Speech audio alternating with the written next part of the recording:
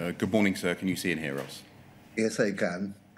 Uh, before the questioning resumes, can I just first of all confirm with you how we intend to proceed today?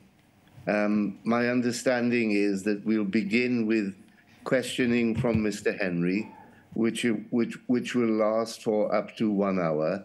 And then after that questioning, there'll be a, the first morning break. Yes. Followed by Mr. Stein, again with questioning up to one hour, followed by the second morning break. And then this morning session will conclude with questioning on behalf of the NFSP and on behalf of a lady called Susan Sinclair. That's right, sir. Then we take our lunch. Uh, then Mr. Moloney will ask questions for up to one hour. And then, if she wishes to do so, Ms. Leek may ask questions on behalf of Ms. Vennells. And that will then conclude, subject to you, as always, having the last word if necessary. Thank you, sir. Right, so that deals with the timetable for today. And then, um, just so, to avoid any confusion, if there is any, about um, what is to be said about Ms. MacLeod, can I make it clear that um, there will be, if there is not already, a reasonably lengthy statement on the inquiry website.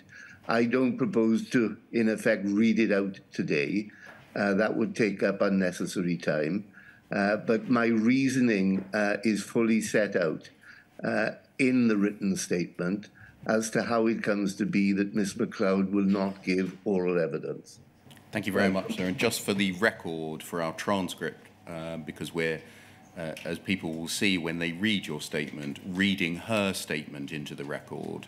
Yes. Uh, her witness statement's URN is WITN 1001 0100. So that is, by virtue of what I've just done, to be treated as uh, evidence in the inquiry.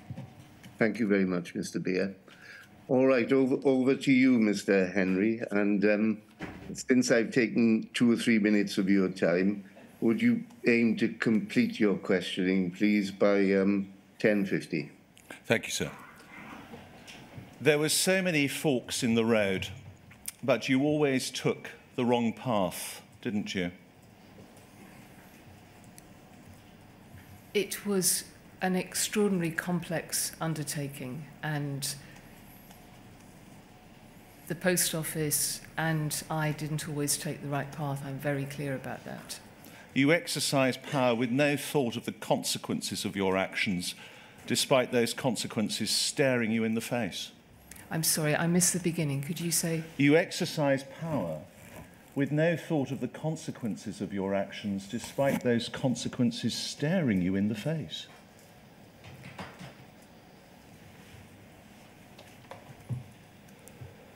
The scheme was set up, and for the time that I worked on that, I believed that I, and I wasn't working alone in this, I was surrounded by colleagues, as the inquiry has seen, and I believed that we were doing the right things, and clearly that was not always the case.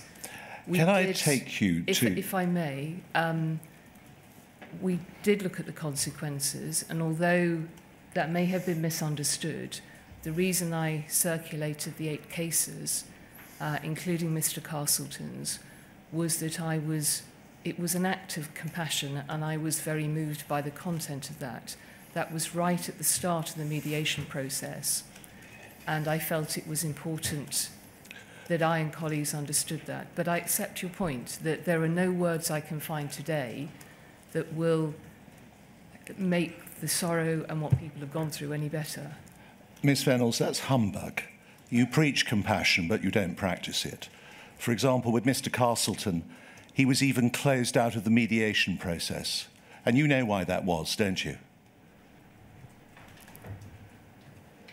I'm sorry, I, I cannot recall the detail of that. I'm not, I wasn't personally involved in which cases did or didn't go into the mediation scheme. It so deeply moved you, you said in your statement, it was so shocking, yet he was locked out of the mediation scheme because, of course, he was an illustrious scalp that could be used, a precedent that could be used in the GLO. What happened to Mr. Castleton is completely unacceptable. At the time his case was not taken through the scheme, the post, I personally wasn't involved in the decision, but the post office took the decision based on legal advice. Yes. It was wrong, Mr. Henry. I completely agree with that. And what happened to Mr. Castleton is, is, is unforgivable. And you instigated no investigation into why £321,000 of public money was used to crush him and grind him into the dirt.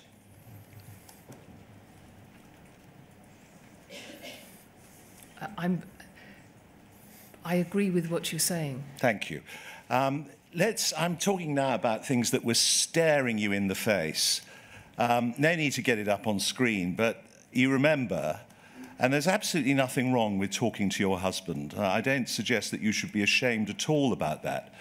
But you wrote that email, my engineer, computer literate husband sent the following reply to the question, what is a non-emotive word for computer bugs, glitches, defects that happen as a matter of course? Answer, exception or anomaly. You can also say conditional exception anomaly, which only manifests itself under unforeseen circumstances. Unforeseen, random, difficult to predict, impossible to guard against it was staring you in the face, but you took from your husband's text or email that which suited you and ignored or dismissed the potent jeopardy that these bugs could arise under unforeseen circumstances. Isn't that shocking? I covered this yesterday with Mr. Beer. I should have said bugs. The post office should have said I'm not bugs. talking about that. I'm talking about manifests itself under unforeseen circumstances. In other words, these things could crop up intermittently at any time, as Tim McCormack warned you in 2014. And here you have this from your husband uh, on the 2nd of July 2013 warning you about bugs that manifest themselves under unforeseen circumstances. You should have been horrified. I was concerned by the bugs. There was. you did nothing. Well, Mr. Henry, let her finish, please. So be it, sir. I'm sorry, could you repeat the question? You were concerned by the bugs, you say. What I'm suggesting to you is that you took what you wanted from the information your husband had supplied to you, but you did not heed the warning contained in what he said, which was that these bugs could manifest themselves under unforeseen circumstances. It was staring you in the face. The inquiry has heard that there was information that was not known to me and potentially to other colleagues I was working alongside. At that stage, I only had the information of those two bugs.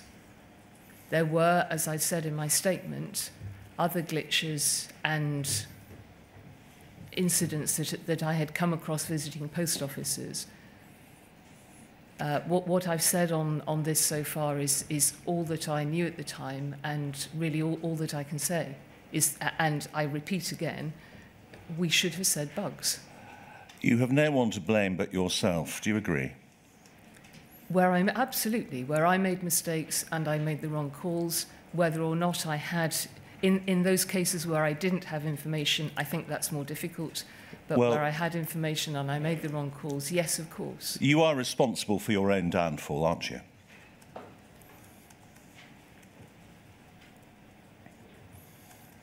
I, from when the Court of Appeal passed its judgment, I lost all the employment that I have had.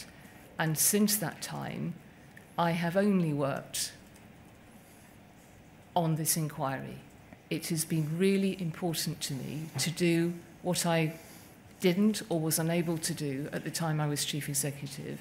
And I have worked for the last three years and prioritised this above anything else.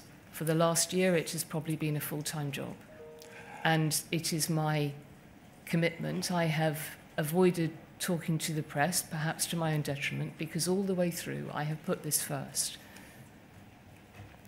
I suggest to you that you still continue to live in a cloud of denial, and it persists even to today because you have given in 750 odd pages a craven self serving account, haven't you?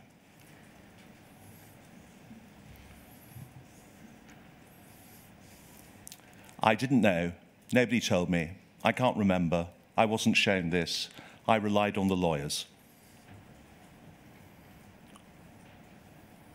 I have tried to do this to the very best of my ability.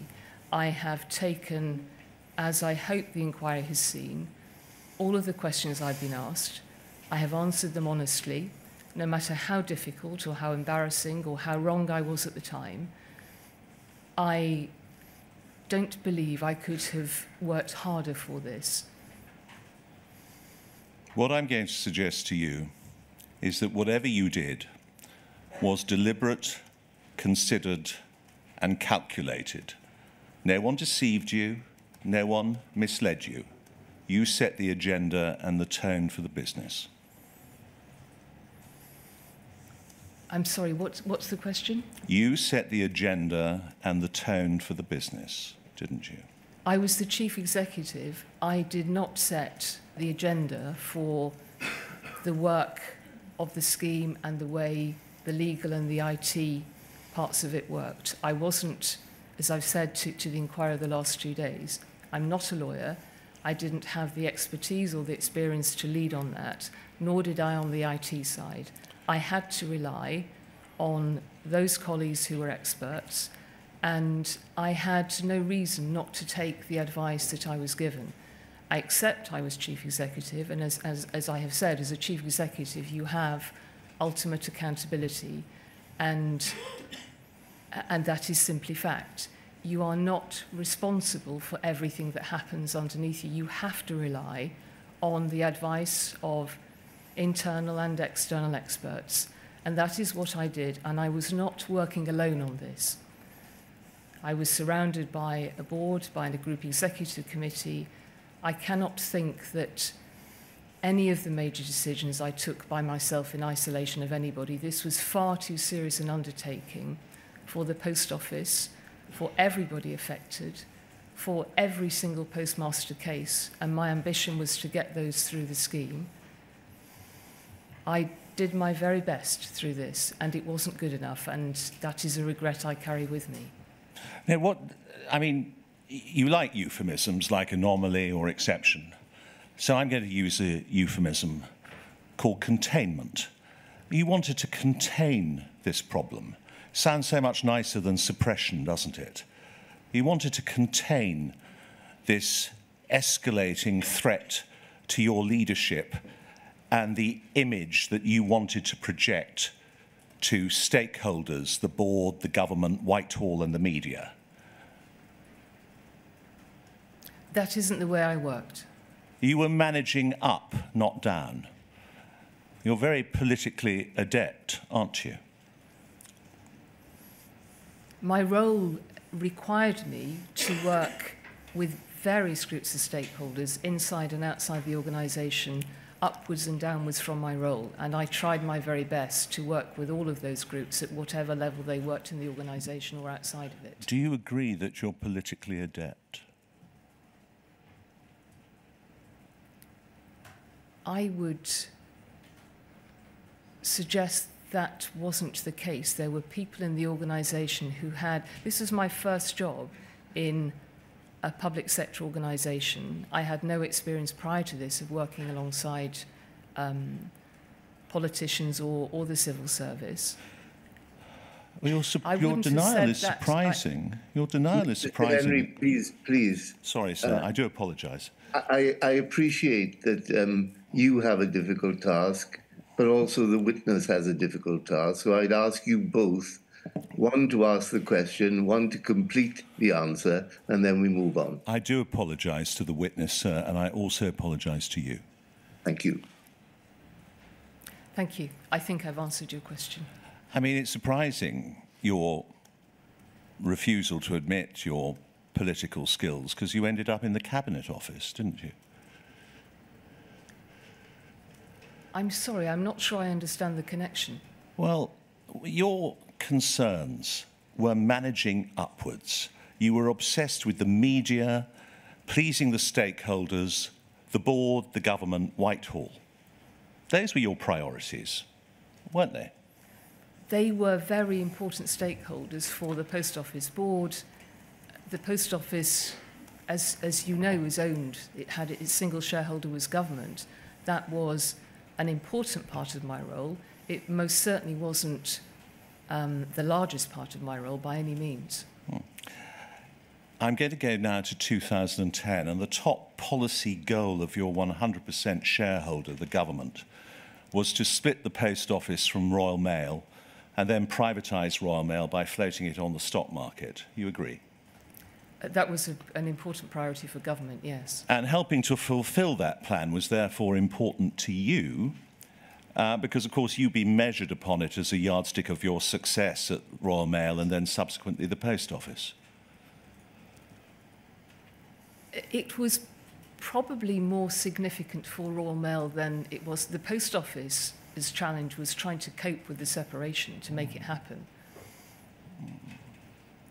And um, you worked closely with Dave Smith, didn't you? The managing director. Mm-hmm. Yes, he was my boss. Yes. And he commissioned the Ismay report, which you must have read at the time. I, I don't believe I did, and oh. I have found no. Do, the, the document itself, when I saw it recently in preparation for the inquiry, seemed to be a surprise to me, and I don't. I haven't seen any documentation to say that I received it. Yes. Uh, not aware of the Ismay report, you say? I don't think so, no. Yeah. Uh, Horizon had a clean bill of health, its integrity was sound, but I digress. Obviously, the proposed flotation of the Royal Mail Group was vitally important to Donald Brydon and Moya Greene as well. Uh, I, am sure it was, but you'd yeah. have to ask them. Back in 2010, a week before you were appointed managing director, a trial took place in Guildford and an innocent woman was jailed. Her trial became the high watermark of Horizon infallibility. Her conviction became, for years, a validation of Horizon's integrity for the post office. It was, as it were, a test case. And if the post office had failed in this prosecution, it would have opened up the floodgates to civil litigation, civil claims for damages, and a defeat in that trial in Guildford would have made civil claims difficult to defend. The inquiry has seen documents to support what I've just put to you. Um, but do I take it you knew nothing about that case at the time, in October 2010, because you were unaware of prosecutions being mounted by the Post Office until 2012? My my, I, I've seen some documentation this morning that showed I was aware of the case afterwards. I think, I can't remember, I'm sorry if, um, in my statement, but I think I say in my statement that I remember being told about the case after the court had reached its decision. And so that would have been at the time of the, uh, of that, uh, of the conviction. Hmm. You see, uh, again, no need to put it up, but there's an email chain which you've seen this morning, dated the 21st of October 2010, to Rod Ismay, Mike Moores, Mike Moores, Chief Finance Officer? Yes. Mike Young, Head of IT? Yes. And you, from Dave Smith, after hearing that Seema Misra had been jailed, saying, Brilliant news, well done please pass on my thanks to the team.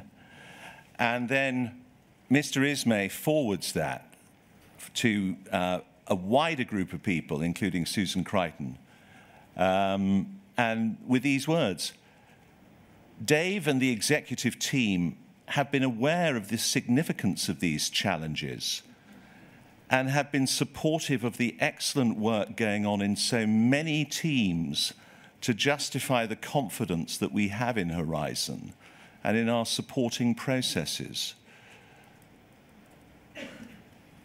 So you must have been aware at the time, because you were, of course, a member of the executive team.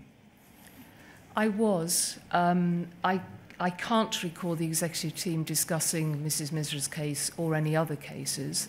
They, as far as I can see from documentation of my recall, they didn't come to the executive committee in any detail.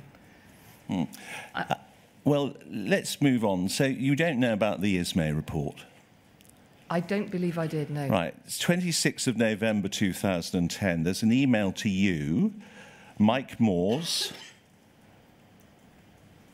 Chief Finance, Mike Young, Head of IT, Susan Crichton, Kevin Gilliland, Sue Huggins, and Rod Ismay. And um, if you want to see it, but I think you've already seen it outside of the room, but it's uh, POL 001 20561. And the subject line is Update on JFSA and Horizon Issues, an urgent response needed for BIS in strictest confidence. Uh, and it reads as follows You will be aware of the allegations that the JFSA have been making about the integrity of Horizon the integrity of the system and the associated processes that POL uses in terminating contracts.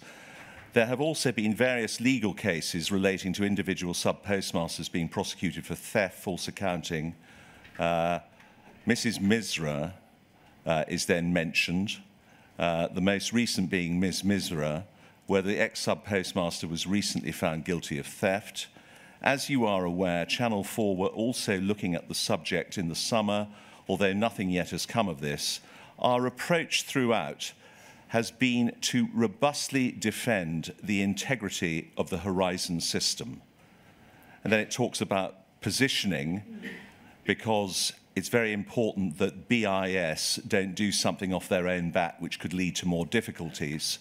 And then these words, as you have all had an involvement in this particular issue, I'm looking to see if I can gain concurrence to this particular statement, which was a very robust statement about Horizon's integrity.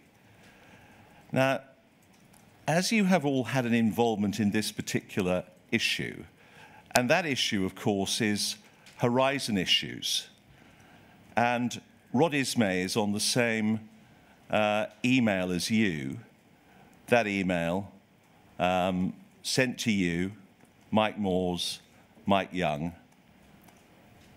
Are you sure that you hadn't discussed with Rod Ismay anything to do with his report? No, uh, I don't believe I had, Mr. Henry. Right. Anyway, we know that on the 13th of June 2011, the Postal Services Act um, was passed that set down the roadmap for the separation um, and the privatisation. Uh, you agree with that? Yes. And then on the 29th of September 2011, three months after the act, you received the email from Mr. Brydon, chair of RMG, which Mr. Beer took you to yesterday. Um, and that was, of course, the Private Eye uh, article.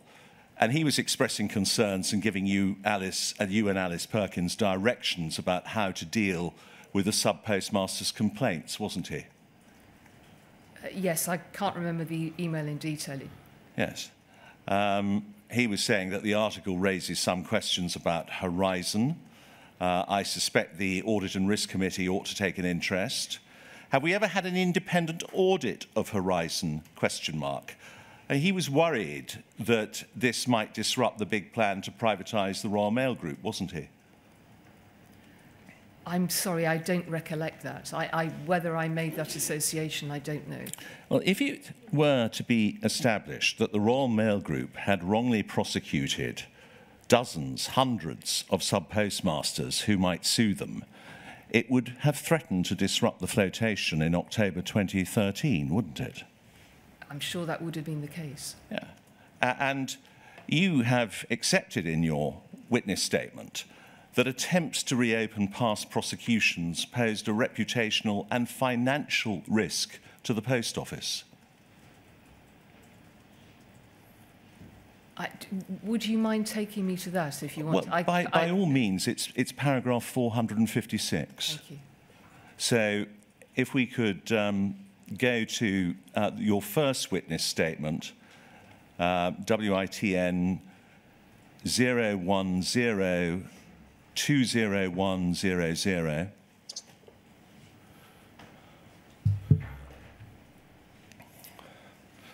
And uh, it's paragraph 456. I'm so sorry, I seem to have lost the page reference for it, but um, It's page 220. th- thank you so much, sir.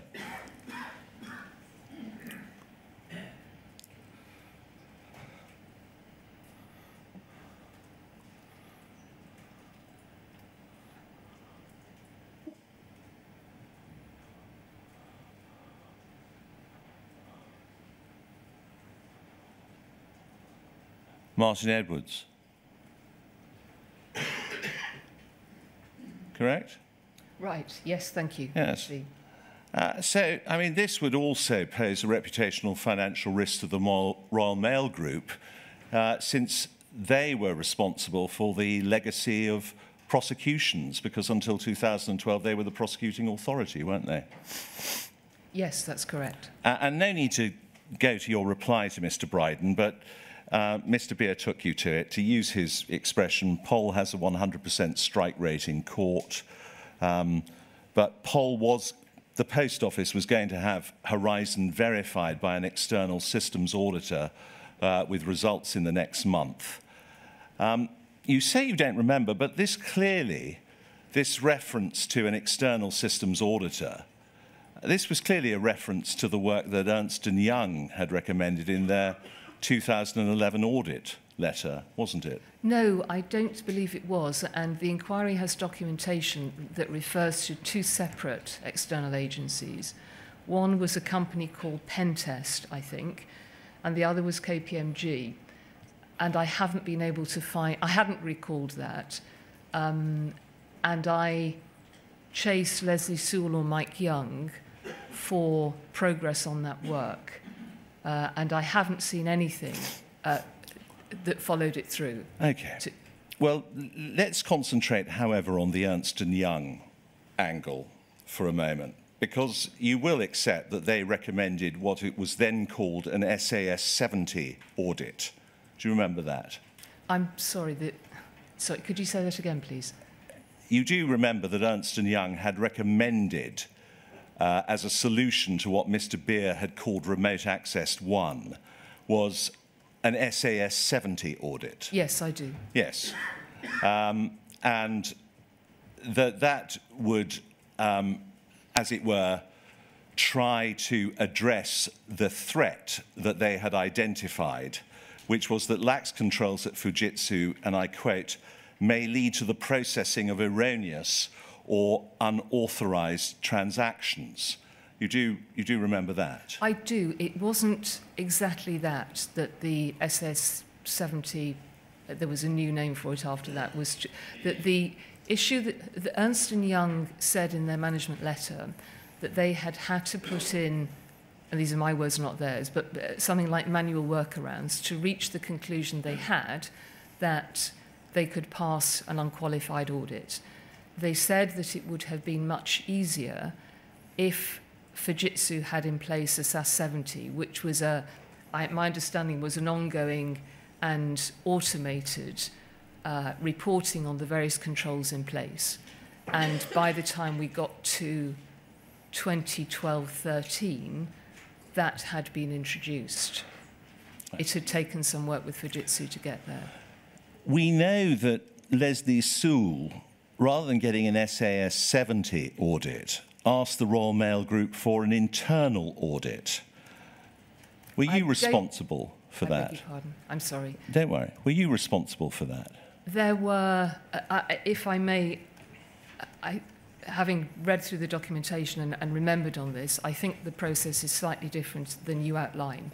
So there was criticism in 1011 because the audit had taken too long. It had run over massively in terms of time and budget, and the reason for, there were two reasons for that.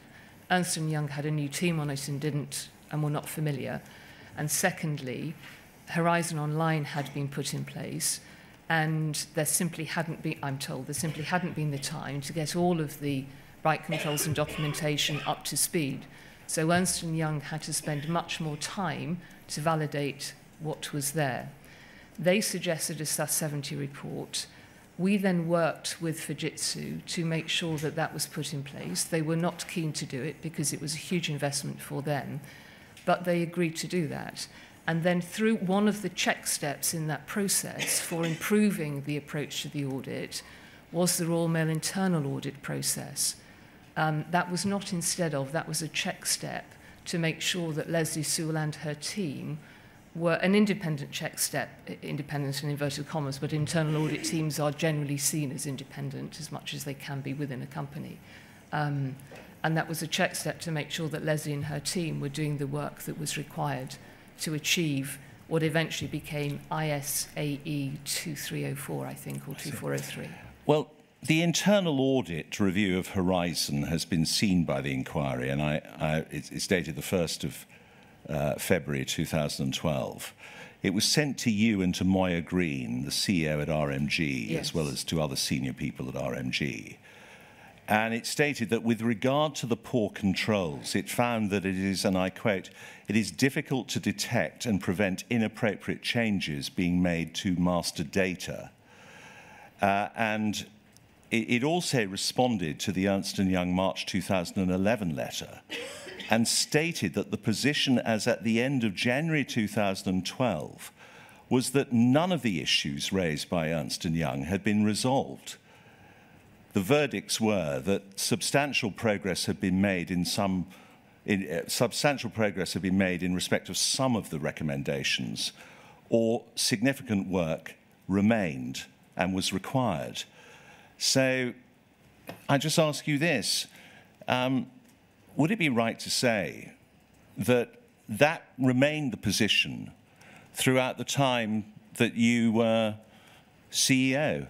You were MD from October, but um, 2010, but uh, CEO in 2012. Those issues were never fully resolved, were they? You, well, you, you're right to raise that report because what it did was, it was a very useful report because what it did was highlight, First of all, and of course, people took reassurance from that, the areas where progress had been made, uh, and it highlighted where further work was needed. From memory, I think substantial progress had been made on that. There were 10 recommendations in the Ernst & Young report. Four of those were high, pro, uh, uh high risk, no, not high risk, high rating. And I believe the Royal Mail internal audit report said that was where substantial progress had been made. There was still more progress to be made. In 1213, so the end of the following financial year, when I was chief executive, and throughout the year prior to that, there had been numbers of check steps in place. Ernst and Young found that, um, again, forgive me because I can't remember the words from the report, but they were very pleased with the outcome. The audit had gone very well. And there were always, as there always are uh, in these processes, some improvements to be made. But Lesley was congratulated on the work that was done. The chair of the Post Office Audit Committee congratulated her on that. Um, and so, uh, you know, I and the group executive and the board took some comfort from that. As we went forwards, the audits continued to flag some improvements, but to, to be clear that the accounts could be signed off unqualified and that the IT side of the audits um, had improved from the I think you know you, you're right to flag the crisis situation, which which we took over on on separation. I, I'm sure that the board took comfort. I'm sure there was a mutual congratulatory fest. Um, but the fact is, remote access was never unauthorized tampering, was never resolved throughout the entire time of your tenure as managing director and as chief executive.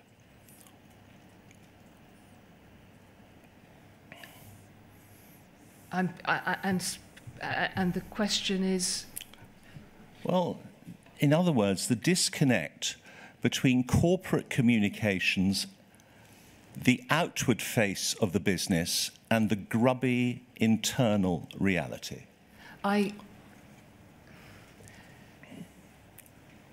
I'm sorry. I'm still. I, I'm really not. I want to be able to help. I'm. Uh, you're making well, let, let, me try, Ms. Vennells. I think the point that's being put to you is that throughout the period that you were chief executive, let, us keep to that, uh, makes it simpler. The true extent of remote access was never satisfactorily resolved by the senior people at the post office. Uh, and so when that is correct, that right. the, the, the volume of interventions that were happening as I understand it, and, and I can only, I've only understood this since in terms of what is detailed in the Horizon IT judgment and the, the Project Bramble report, which I've seen afterwards, is it appears as though there were interventions on a, on a fairly frequent basis, um, which, as Mr. Beer said yesterday, was not uncovered um, at least, uh, I'm sorry, was, was not known to me, and I believe the board and the group executive. I don't know how widely within post office that information was known, but clearly it was happening.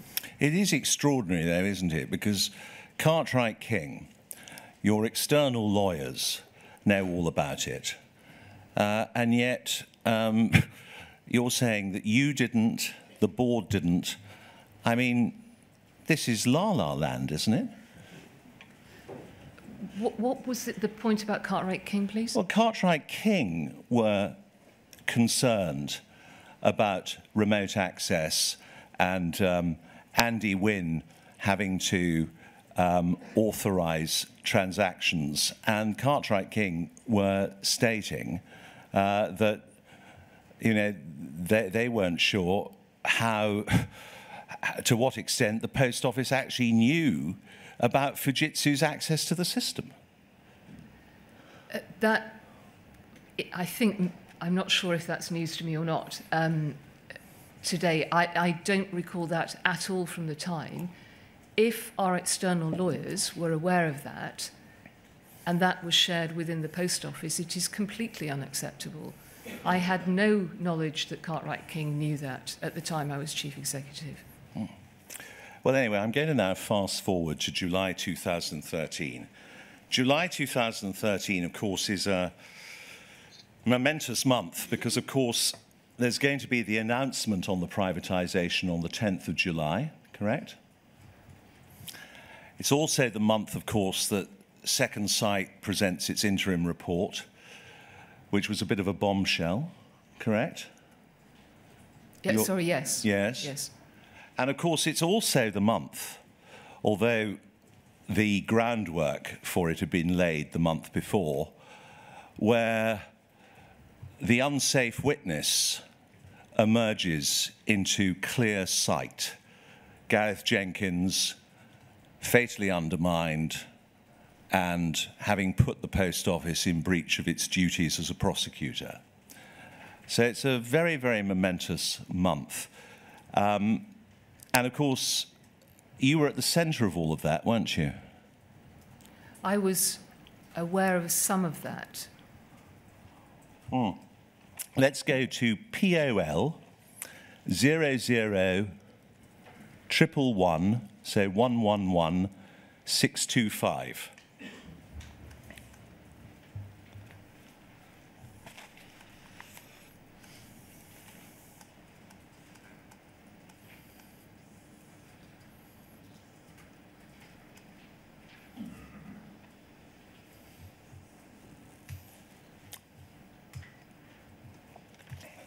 I don't see it up on my. No, now I do. Thank you. So this is the internal briefing note to you, and presumably it's after you've received your uh, text or email from your husband uh, because of the nomenclature that's used in this. Um, but could we go to paragraph 8, please, which is on page uh, 2? In other words, the next page. Paragraph 8, please. We believe James R. Arbuthnot may feel that any interim findings which disclose any issue with Horizon should result in past criminal prosecutions by the Post Office Limited being reopened and overturned. So that is noted. Could we now go to paragraph 30, please?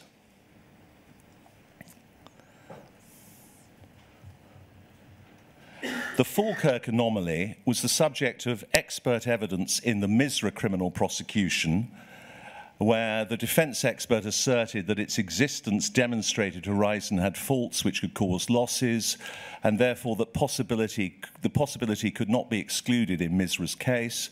The prosecution expert, Gareth Jenkins from Fujitsu, etc., etc. So you knew because you would have read this briefing and you would have read it very carefully, given the fact that it refers to anomalies and the like, uh, which was done at your instigation, presumably. You would have been aware that Gareth Jenkins was the prosecution expert in Mrs. Misra's trial, correct? I would think so, yes. Well, I mean, not, I would think so. I mean, there it is. It's a briefing to you. I'm sorry. Yes, of course. I, I, I, what I meant by my response was how much of this very detailed briefing I'd taken in on board at the time, but it's absolutely there. You're, you're correct. Uh, it's the job of a CEO to read briefings and take them on board, isn't it? Yes, it is. Right. Now, while all of this is um, going on, um, the inquiry has got documents, and you have been shown them, I'm sure, and I don't go against it, parliamentary privilege in any way at all. But on the 9th of July, um, the Minister, uh, Jo Swinson, uh, gave a short statement to Parliament, uh, which included it is important to note that the issues in the report have no impact on Royal Mail, which is an entirely separate business. Uh, and there was also a WIPS briefing that the inquiry has seen, uh, which talks about wide impacts.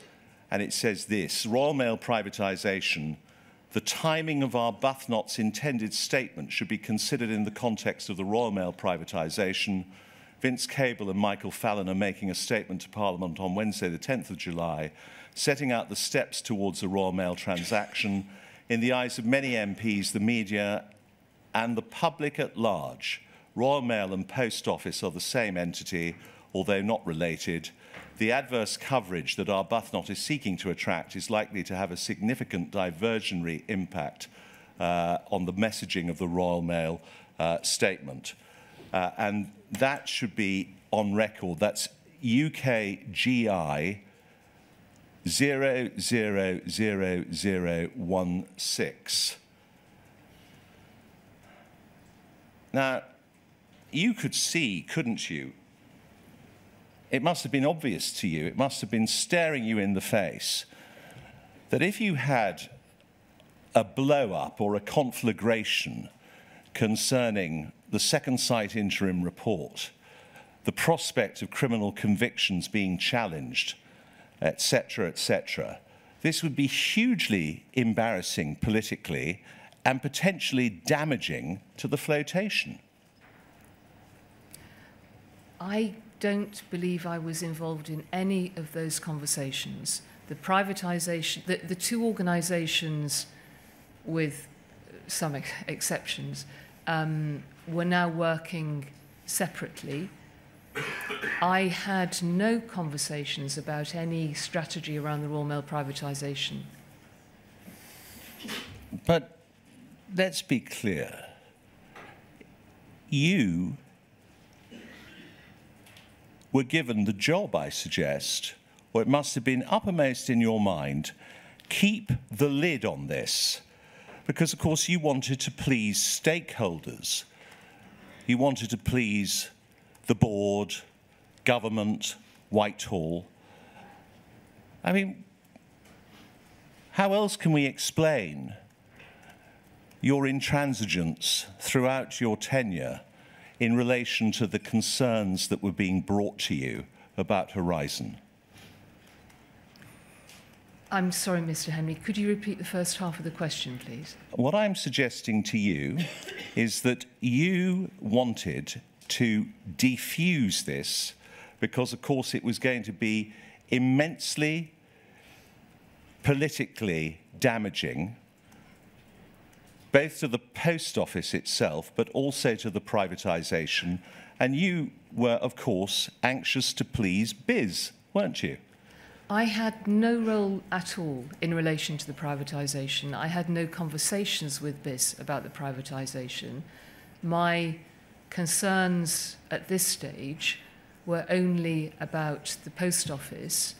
And as the inquiry has seen, there, there were many, many conversations and a good deal of documentation at this time about how we might find a way through this. I don't believe I made any connection between this and the Royal Mail privatisation at all. And I have, my approach to my work is that I do it to the best of my ability um, and honestly it was not, I, I don't think it was ever my style to try to please or to keep in with people, um, whoever they were. When you're doing a job as difficult as this was, you make it more complicated if you try to do that. Well, then I'm going to ask you about the 12th of September 2013 the government announces the IPO of shares in the Royal Mail Group. And that did open up a problem for the post office because what was the prospectus going to say about Horizon and Second Sight? And what was it going to say about Gareth Jenkins? You say you had absolutely nothing to do with the privatisation. Why did you get involved in bowdlerising or amending the prospectus? This was a very last minute. I wasn't involved in the prospectus at all. I can't remember how it occurred, but it was flagged to me that within, which was complete news, that within the IT section, and I should say this isn't a recollection at all. This is this is from looking at documentation this morning. Um, it was flagged to me that in the IT section of the Royal Mail prospectus, there was a reference to, I can't remember the words now, but risks related to the Horizon IT system. And again, I, I can't recall, but, but I clearly arrived at a view that that seemed um, it seemed the wrong place to. So the line that was put in said that uh, no systemic issues had been found with the Horizon system. The Horizon system was no longer anything to do with the Royal Mail Group. So I got in touch with the company secretary and said, this, I don't understand why this is here. Please can we have it removed? This prospectus is about Royal Mail and then the post office. Um, and I believe that was the case. The other thing I learnt from the documentation this morning that I did not know at the time is that the original um, genesis of that statement going into that IT section was from one of the non-executive directors who sat on the Royal Mail Board and the Post Office Board, Les Owen. Now, whether Les Owen had wanted to put that in because in some ways it was reassuring about the Horizon IT system, I don't know. But my, my involvement was simply to say, I don't understand why there is a line in an IT section in a Royal Mail prospectus about the post office. And I don't recall, but I believe it was taken out. Yep. You had on the 16th of July the board meeting where Susan Crichton is sitting outside on the naughty step. You know that at that 16th of July board meeting, the board was alarmed about potential claims against it, correct? Yes. You know as well that on the 22nd of July, your insurers were notified, correct? There was a I don't recall that, but I'm happy to, happy to take your word. Right. Now, how would revelations about possible prosecution failures during the time when Royal Mail was in charge of the post office have affected privatisation? It would have been devastating, wouldn't it? Yes, it would, I'm sure. Yes. Right. So, was this discussed uh, with the Royal Mail board? I don't know if it was discussed with the Royal Mail Board. It certainly wasn't discussed at the Post Office Board. What about your discussions with the business department? Because you were in regular contact with BIS. Did you discuss it with BIS? No, I don't believe it was discussed with BIS. Not, not by the Post Office. Uh, sorry, not by me. Whether the chairman, uh, I can't think who else, but uh, I certainly didn't. Well, you you've mentioned, of course, about Les Owen because he had formerly been on the inside at the post office because he had formerly been a board director at the post office, hadn't he? Yes, he had. Right. And he was concerned enough to want something put in the prospectus, but you wanted it taken out and you succeeded in getting it taken out, didn't you? I did because I felt it was an irrelevant statement in, in a section about the Royal Mail IT system. And you sent an email to Alice Perkins, POL 001 46462, which stated, I have earned my keep on this one. Do you remember reading that this morning? I do, yes. What did you mean when you wrote that to your chairman? I meant that it had taken some, some, some uh, time in a very, in a very short period of time to um, remove that statement about post office IT from the Royal Mail prospectus because I didn't believe that it was helpful in any way to the post office because the two businesses were separate. The prospectus was about the flotation of the Royal Mail. And as I've said a couple of times over the last two days, there was always with the post office, and it was the same for the Royal Mail, um, the, the challenge of managing potential misinterpretation in the media um, of facts that that were not necessarily always understood. And this, as chief executive, part of your role is to protect the reputation of the post office as it is for the board and the chairman. There would have been no misinterpretation in the media because the media's instincts were entirely correct. You knew of the existence of bugs, errors, and defects. And you'd already kept those out, hadn't you? Because they don't appear in the prospectus. I had no work, Mr. Henry, on the prospectus at, at all. No involvement with it until this very last minute intervention. You knew that there was a risk of civil claims for wrongful prosecutions and civil actions based on such bugs. You were aware of that. 16th of July, board meeting. Correct? Yes, yes. You knew that the Royal Mail Group was responsible for the legacy of those prosecutions together with the Post Office. You really had earned your keep on that one, hadn't you? You kept the lid on it. That was not at all what I was doing. I had no reflection in relation to that whatsoever. Contain negative press, protect the business, hide horizon issues.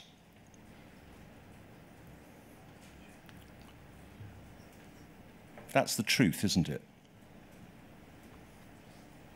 No, Mr. Henry, that isn't the truth. I, I never, I, as I said earlier, if there were difficult issues that needed to be addressed, that was what I tried to do.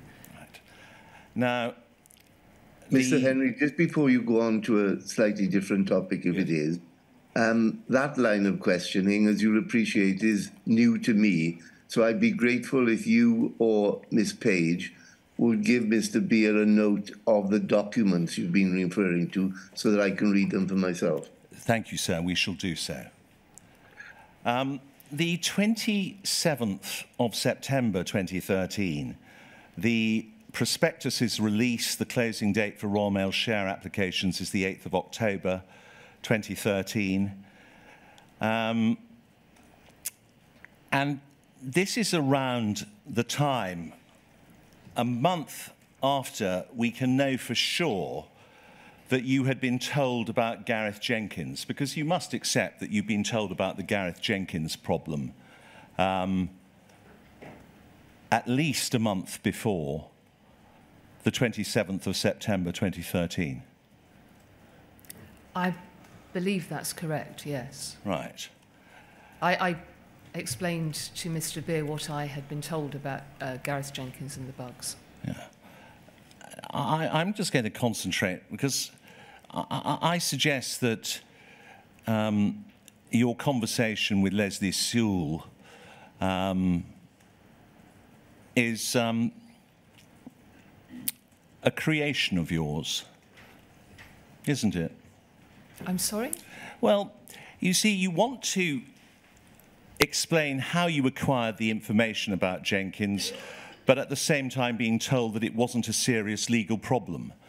So you have an undocumented conversation with Miss Sewell uh, in the corridor where she says, oh, it's more of a practical problem, it's all a red herring. Uh, and so that gives you reassurance that it isn't a serious legal problem, as you knew it to be. I've told the inquiry exactly how I found out in the conversation with Lesley Sewell, as, as I explained to Mr. Beer. You see, you were fully briefed by the lawyers, weren't you? I, uh, I've, I've spoken to the inquiry about this with Mr. Beer. I was briefed by Lesley as I explained. I came across her in a corridor looking frustrated about something. We had a conversation. She explained that, and I don't believe she dismissed it as an inconvenience or however you suggested. The question I'm putting to you is that you were fully briefed about this about risk by Susan Crichton. What do you say to that? I was briefed by Susan that Gareth Jenkins could no longer be used. I'm not sure what you mean by risk. Uh, that, that, uh, what I know now is much more about this, that Gareth Jenkins hadn't been properly briefed in the first place as an expert witness. Um, and but at the time, that there, I had no idea of the contents of the Simon Clarke advice. I want to ask you, please, because I'm going to suggest to you that uh, you must have known about this by the end um, of um, August. Uh, and I want to take you to POL 001 08065.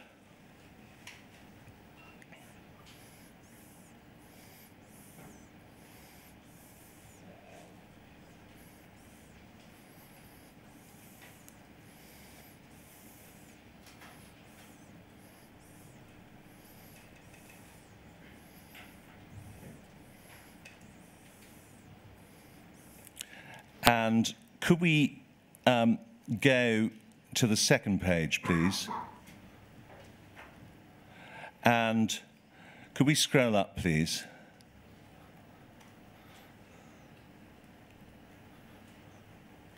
Keep going, keep going, keep going. Yes, right. Legal and adjudication of future case. We are urgently working with our external firms to identify an independent expert to provide evidence on the Horizon system. Previously, this was provided by Fujitsu. Th these are you in caps. Yes, yes. Why move from this? Do we have to validate Fujitsu? Okay? And you sent that to Susan Crichton from memory, I think it was the 23rd of August. She responds um, on the um, 28th, I think, And she says this We are concerned that this needs to be independent rather than Fujitsu verifying its own system. Happy to explain rationale further at our steering board meeting this week, and that took place on the 29th of August 2013. So there we have a very careful response from Susan Crichton, not putting down anything in writing, but she must have fully informed you about the problem um, by the steering group uh, meeting on the 29th of August 2013.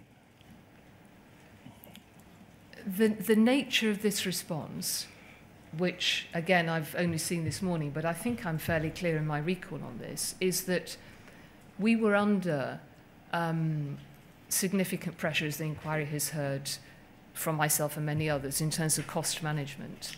And my question here was based on this, which is well, surely, if we've had to stand down Mr. Jenkins, I don't know whether I remembered his name or not at this stage, um, why would we not get Fujitsu to provide us another witness, uh, another, um, uh, yes, another witness? Um, why would we move from that? Because the cost on that had been borne by Fujitsu. And so my, my last question is, does this mean, therefore, we can't do that because we have to validate Fujitsu? It was a completely open, straightforward question, and Susan's answer was, uh, we, I'll explain that to you when we meet. I've got very little time left, so I'm going to have to just give you the document references without putting them up. I suggest that this knowledge changed your behaviour because your plan was to have a lessons learned review going into some considerable detail, POL 00146243. And on the 3rd of September 2013, that was run past Bond Dickinson, and you decide to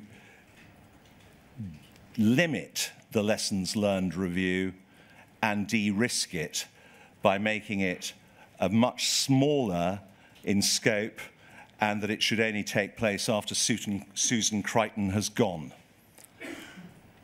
That, I suggest, is because you are already moving into cover up mode concerning Gareth Jenkins. No, and I'm sorry we haven't got more time to go through that because I read that document this morning. The, there were two issues around les the lessons learned review.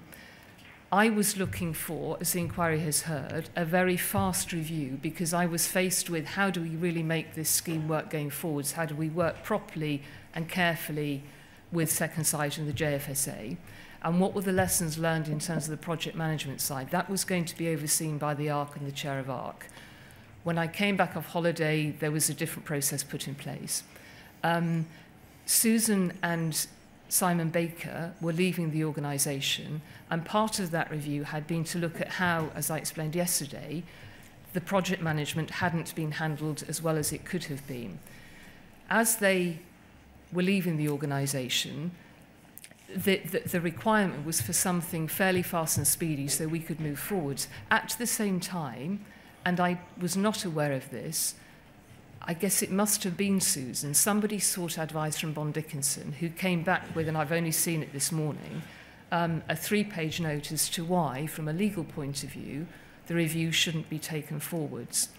Um, and so th- that was what was that that is what was uh, that is what happened. Andy I, Parsons was telling you that it would blow open duties of proactive disclosure for criminal appeals. It's, it's a very long note and there is a lot of legal information in it. And I say to the person who forwarded it to me, thank you, I can see what this says. And then I say that I'm going to discuss it with Alwen.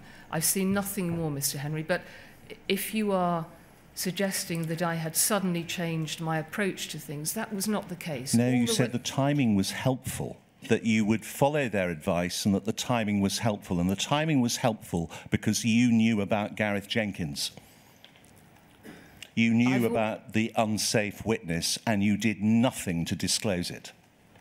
Uh, that's not the case. Now, I've got one... And, and I think it's really important. That is not the case. I did not know that.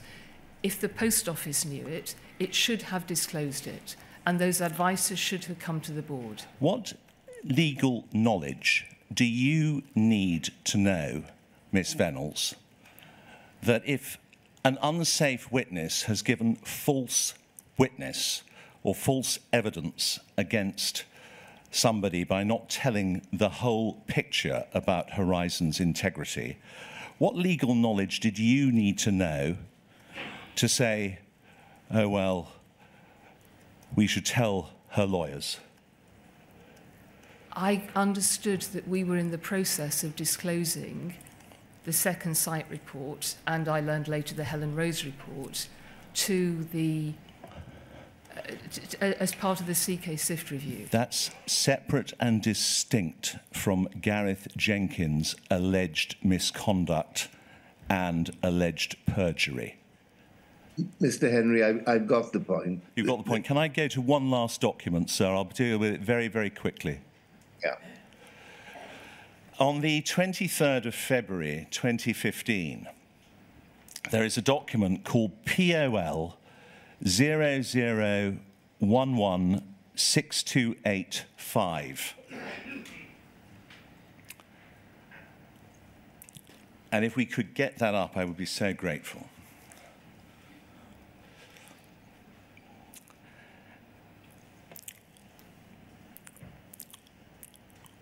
And could we go to the um, 3.4 in the document?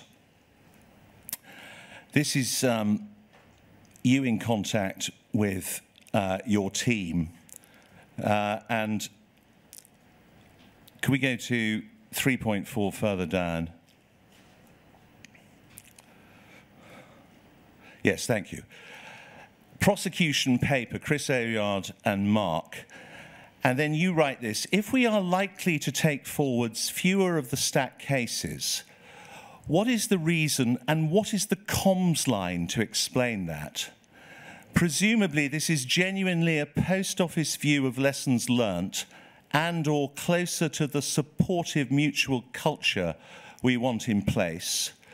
If we were to explain it like that, does it then lead to a need for further disclosure regarding past legal cases? Presumably not, as they were subject to the policy at the time. And then Mr. Aujard responds, correct, and double checked with Brian Altman, QC. Ms. Vennells, the real reason you're not prosecuting stack cases is because you don't have an expert to validate Horizon. You knew that? No, at this date we had stopped prosecutions. Um, Stack cases are the cases yes, waiting they were to the be ones prosecuted. Waiting, yes, and and I um, and I say in the next point actually that I'm uncomfortable keeping people waiting. This will be a big deal for them and very stressful. What you're doing here, I suggest, is what you have done in other contexts. You're spinning it telling your team what you want to hear. You're spinning it so that you don't have to provide disclosure of that, the reason why you don't have an expert, because of the unsafe witness and the whole debacle concerning Gareth Jenkins. That's what you're doing. You've disguised all that in this cloying managerial ease, and your general counsel tells you that non disclosure of all that has been double checked with the QC and he is fine with it. That's what's happening here. What is the reason and what is the comms line to explain why we're taking forwards fewer of the stack cases? Presumably, this is genuinely a post office view of lessons learned and or closer to the supportive mutual culture we want in place. If we were to explain it like that, does it then lead to a need for further disclosure regarding past legal cases? Presumably not. Correct and double checked with Brian Altman. This is how you led, Miss Vennells. You led through deception, manipulation, and word weaving the reality you wanted in place? That isn't the case, Mr. Henry. I worked in a very straightforward way, and the inquiry has seen so many examples of where I fired questions in a very straightforward way, usually because I don't understand a particular issue, and I, that is what I'm asking here. If you can read this with a very neutral intent of me trying to seek information, That is what I was doing. I didn't work under deception. I was trying to address a culture in the organization which I had found to be command and control, where people couldn't speak their minds and they couldn't speak up. I was trying to encourage people to, to work in that way. I you, didn't. I did not deal in deception. You did not well, want. Thank you both very much. Thank you. I think that's uh, that's fine. Good. sir. We'll now- We'll now have our first morning break, and Mr. Henry, you'll be glad to know that there's been great efficiency because I've already been sent a message to the effect that the documents you refer to are now with me. Thank you, sir. I have to thank my learned junior. Well, I'm, I'm thankful to you both. So we'll, um, uh, I, I think by my, um, uh, what the clock, it's 10.56. So 10 past 11, all right with everyone? Yes, thank you, sir.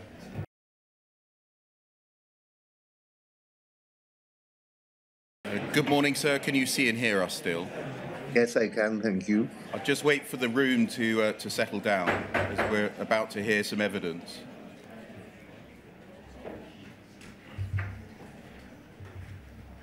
Yes, it's Mr. Stein. Yes, thank you, uh, Mr. Beer.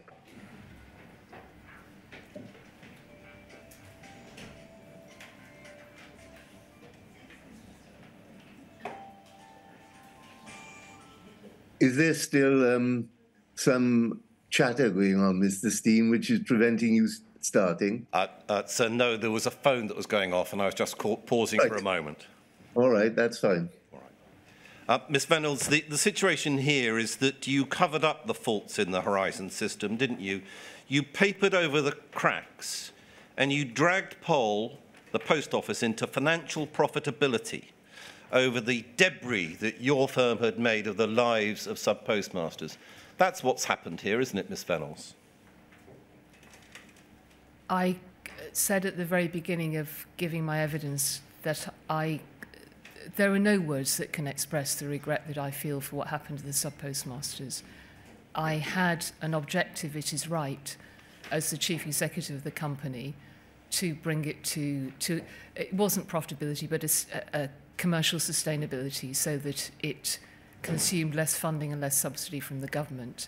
And what the evidence has shown us, Ms. Vennells, is quite, simply this. You didn't actually care about sub postmasters, mistresses, and their employees, did you, Ms. Vennells? When I was chief executive of the post office and before that as network director, I spent many hundreds of days uh, and met hundreds, if not thousands, of sub postmasters and their staff. And I was noted within the organisation for caring about sub postmasters. And one of my huge regrets in this is that I did not do that for the sub postmasters affected in this way, and that will be with me. By the time of your appointment, Ms. Vennells, the Post Office had gone through the Network Reinvention Programme in 2001 2004. Now, that had been an attempt to ensure the survival of the Post Office from the attack by commercial providers to the core business, and also to cope with the fact that there was an increasing take up of digital banking. Now, that was just before the time you joined. Do you remember being told about the Network Reinvention Programme? The Network Reinvention Programme was, was six years before I joined. Yes. I remember the name, that's all I recall. Right, so the answer is yes. By 2006, the next Save the Post Office programme is Network Change. Now, that went from 2006 to 2009 or 10. Do you remember that one? I do. Right. Now, people that worked in the post office may recall the fact that uh, um, post office staff members wore lanyards, the sort of lanyards we have for this inquiry, which had forward 5 to 11 on them. Do you remember that? I do. And that was a way of stating that that programme, the Network Change Programme, was going to be the next attempt to return the post office to profit by the year 2011. Do you recall that? The Forward 5 to 11 programme was much wider than Network Change. That was one work stream of it. Yes. So the answer is yes, this was the next attempt to try and get the post office back into profitability. Do you agree? Forward 5 to 11, yes, certainly. Right. So by 2010, 2011, we then get to the start of the network transformation program. Do you recall that one? I do. Now, you should recall that one because by this point, you had been appointed as network director and then later on as the CEO of the post office. Is that correct? That's correct. Now, the network transformation program was the post office's attempt to uh, eliminate sub postmasters' basic pay, in other words, cut out a certain amount of expenditure from the balance sheet, but increase slightly the percentage from post office transactions going to sub postmasters. Do you agree that that was one of the strategies? That's not entirely correct. It was far more complex than that. I'm not saying it's not complex, I'm saying No, that that was but- but- one part of it. Do you agree? That, misrep- that misrepresents the offers and the impacts on sub postmasters. Do you agree, Miss Vennells, that the position Sorry, in relation... sorry. Yes, sir, sorry. I I understand. know it's extremely tempting, and um, Mr. Henry cured himself of it. I don't want the witness being um, spoken to when she's answering, and I don't want the witness answering when you're asking a question, if Yes, you see what I mean. So, Let's try it again, Ms. Vennells. Was one part of the network transformation program an attempt to reduce the bill to the post office by trying to get rid of the basic pay to sub postmasters? That wasn't at all the way it was, the objectives were set, no. I, I can explain the program to you if you wish, but that was not the objective to remove the basic pay from sub-postmasters. There were three different aspects of the pay that was looked at, and some, and some postmasters for many years were able to stay on the original contract if they so chose. There were other sub-postmasters in areas of protected postcodes where the contract was never changed, and in fact, they were given additional subsidy.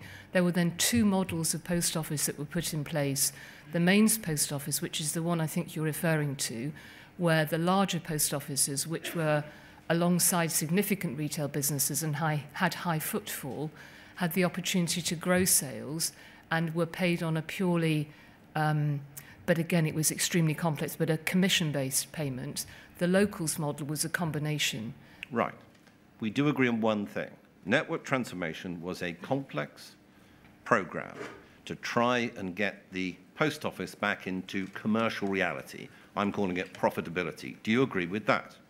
I do. It Right. was one of a number of streams. Yes. There- were, there were, as Alistair Cameron mentioned in his witness evidence, there was significant job cuts and salary freezes for those who worked for Post Office Limited too. The Crown Post Offices and the cash centres were affected. Right. We agree on one thing. This is the latest attempt to get the post office back on the rails. Yes. Yes. Fine. That's all I'm trying to establish, Ms. Vennells. Now, that also included a hard won and no doubt complex financial complex negotiation to ensure that there was a financial package from government of 1.6 billion. That's correct. Yes. Now, as I understand the papers that relate to this, the total that was going to be achieved by way of um, an injection of cash into the post office was going to include another 400 million, taking it up to 2 billion pounds. Is that about right? I don't recollect the 2 billion figure, and the subsidy was divided in two parts. One was an ongoing subsidy to keep the post offices going, the other was an investment to try to make the savings and to invest in, for instance, IT. Now, we know that this is ongoing because we can see, if we wish to, that there's the post office transformation uh, documents, the third report of the session of the House of Commons Business and Innovation Skills Committee, a committee that you may recall attending. Now, that was in 2012. by the time we get to 2013, the network transformation program was starting to work, wasn't it? It was leading to some improvements in the business viability. Do you agree? I'm not sure I remember that. My recollection of the network transformation program was a very difficult meeting with the minister where we were told that instead of converting 19 post offices a week, we had to get to 50. And I believe that was around 2013. I think it was another couple of years before the impacts were made. Eventually, though, it was successful. By about 2017, the balance sheet was looking better. Essentially, the post office had come into commercial viability. Do you accept that? I think that's probably about right. And that's largely how you got your gong, your CBE, by being able to parade the fact that this was your work as a CEO of the post office that led the post office's transformation into commercial viability. That's what you got the gong for, isn't it? I didn't put together the testimonial for the CBE. I never saw what it was recommended for. It was for services to the post offices and, and for charity. I'm sure that was part of it. But the other part of the turnaround of the post office was keeping post offices in communities across the UK, when I joined, and you quite rightly point out the Network Change Programme, we were closing thousands of post offices, and that was devastating communities. And one of the significant outcomes of network transformation and the whole turnaround program was that post offices became sustainable and, and very few closed. And so the, the UK was better served in that sense. Thank you, Ms Vennells, for describing uh, your view on what happened. So we do know this, 2013, by that point, we had had all of these different programs in place to try and rescue the post office. The latest one that was the latest attempt with network transformation. So let's just see how we compare that to what actually happened in relation to the Horizon system. On your account, you had been repeatedly assured that the Horizon system was reliable. Do you agree with that? I agree. Right. By 2013, you had learned that bugs did exist within the Horizon system. Is that correct? That's correct. And you'd learnt the 14 branch issue bug existed, is that correct? Yes. The 62 branch issue bug existed, otherwise known to the inquiry as mismatch bug? Yes. Yes? And you accept in your statement at paragraph 390, I'm not going to take you to it, that those two bugs were significant. Do you agree? Yes. Okay. Later on in 2013, the Falkirk bug was learnt by you in July of 2013, paragraph 421 of your statement. Again, I'm not going to take you to it. Do you agree? I do. So by that point, July of 2013, you'd learnt, contrary to what you'd been told, that three bugs existed in the Horizon system. Is that right? Yes. Now, without getting into any detail, you'd also learnt in the midst of 2013 that the expert used to support prosecution had failed to mention bugs in the system and that thereby disqualified himself of acting in future cases. Is that correct? Yes. Could you say that again? Yes. I, yeah. You had learnt by mid 2013 that the expert used to support prosecutions had failed to mention bugs in the system. Yes, I had learned that he had failed to mention those two bugs, I think was my understanding.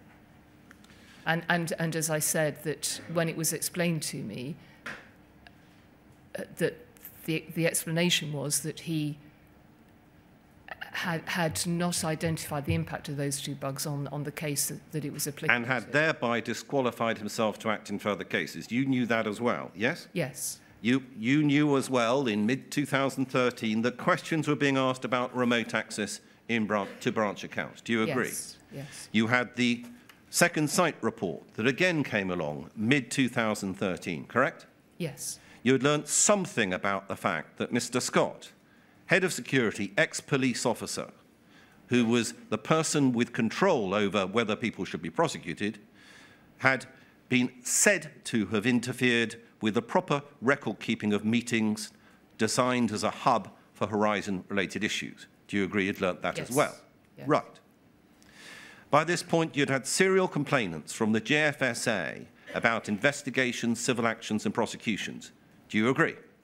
yes, You had letters that were gone through by Mr. Beer yesterday from sud postmasters coming to your own office complaining about the way they'd been treated. Yes. You had articles in the press from the Computer Weekly magazine and Private Eye and other press outlets. You had that as well, mid 2013. And you also said in evidence this week on Wednesday, in reply to Mr. Beer, that by 2012, you had learnt for the first time that the Post Office actually took their own people to court against what you said was your assumption that those matters were prosecuted by the police. So That's you'd learnt that in 2012. Is that right? Yes.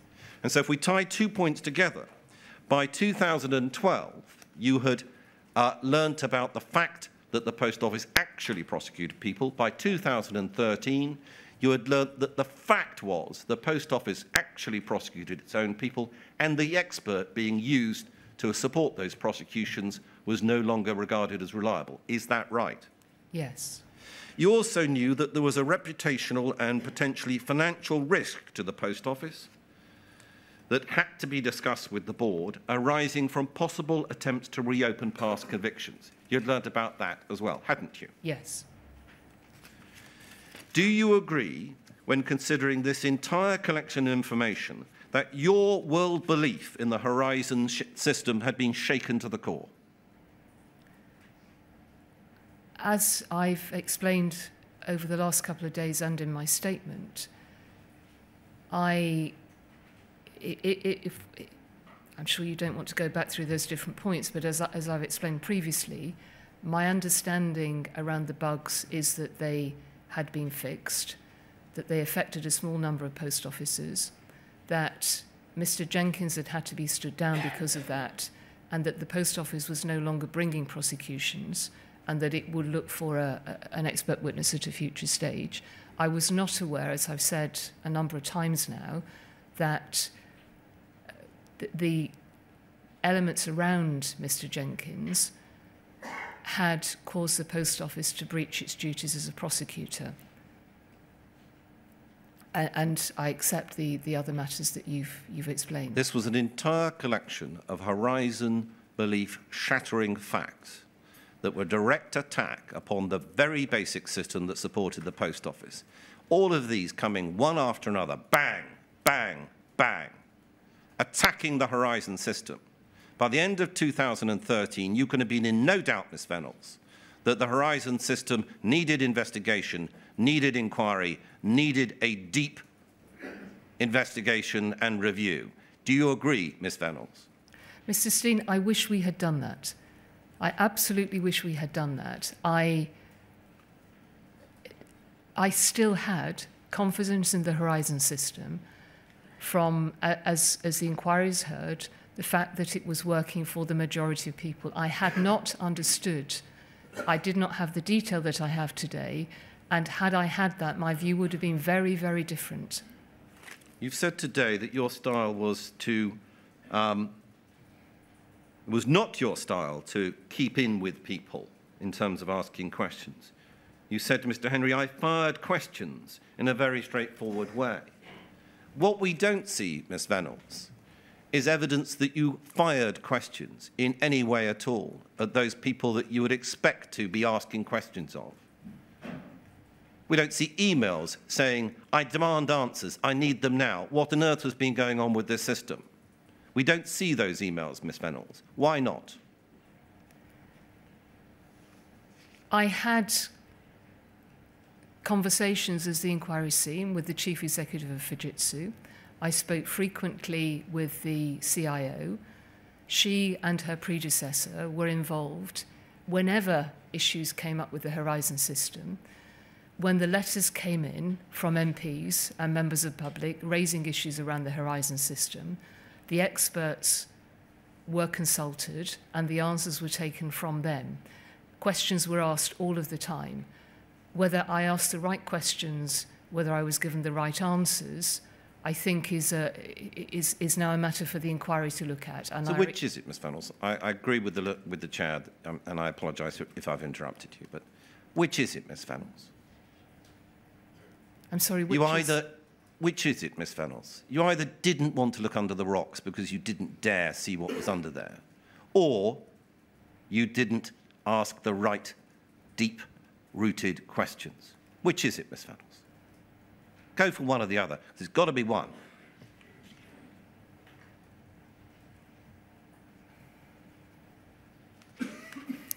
I believed that I was asking the right questions.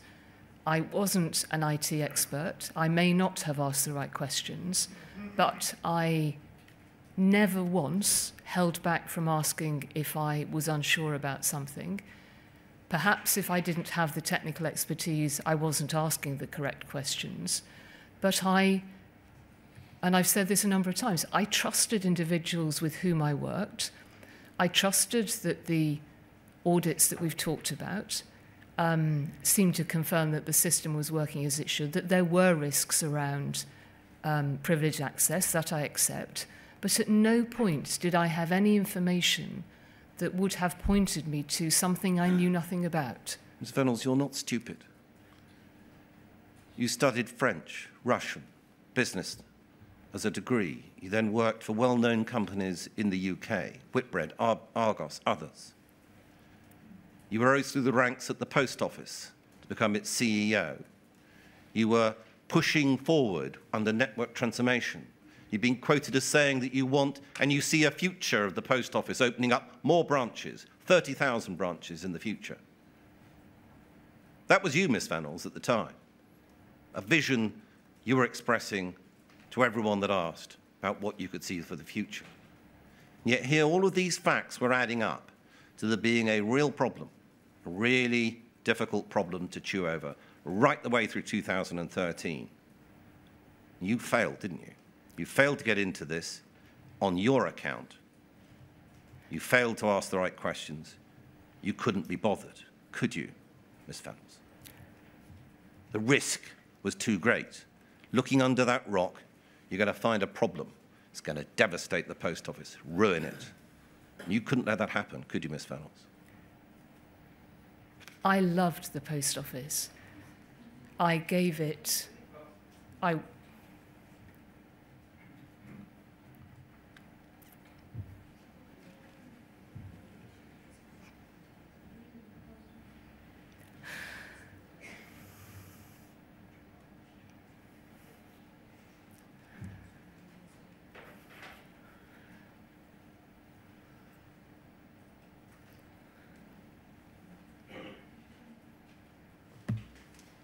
I worked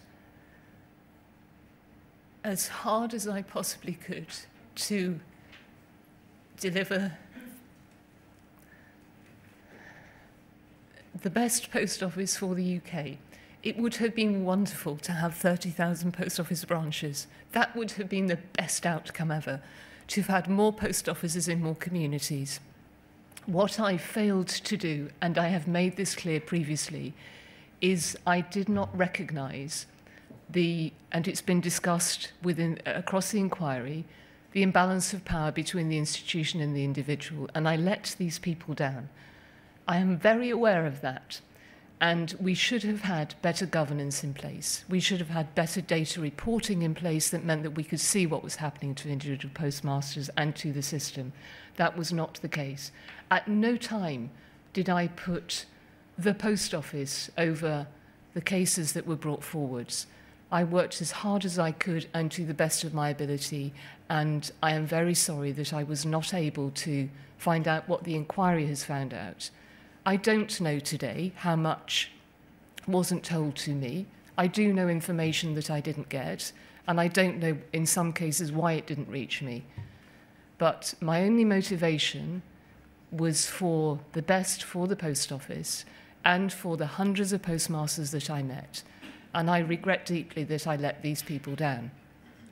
Ms. Vennells, that's absolute rubbish, isn't it? Under your leadership, with your sidekick, Mrs. van den Bogerd, you took on the GLO litigants in the High Court, fighting tooth and nail, allowing counsel on behalf of the Post Office to cross-examine the litigants on the basis that the losses were their fault due to their incompetence or dishonesty. That's what happened under your leadership.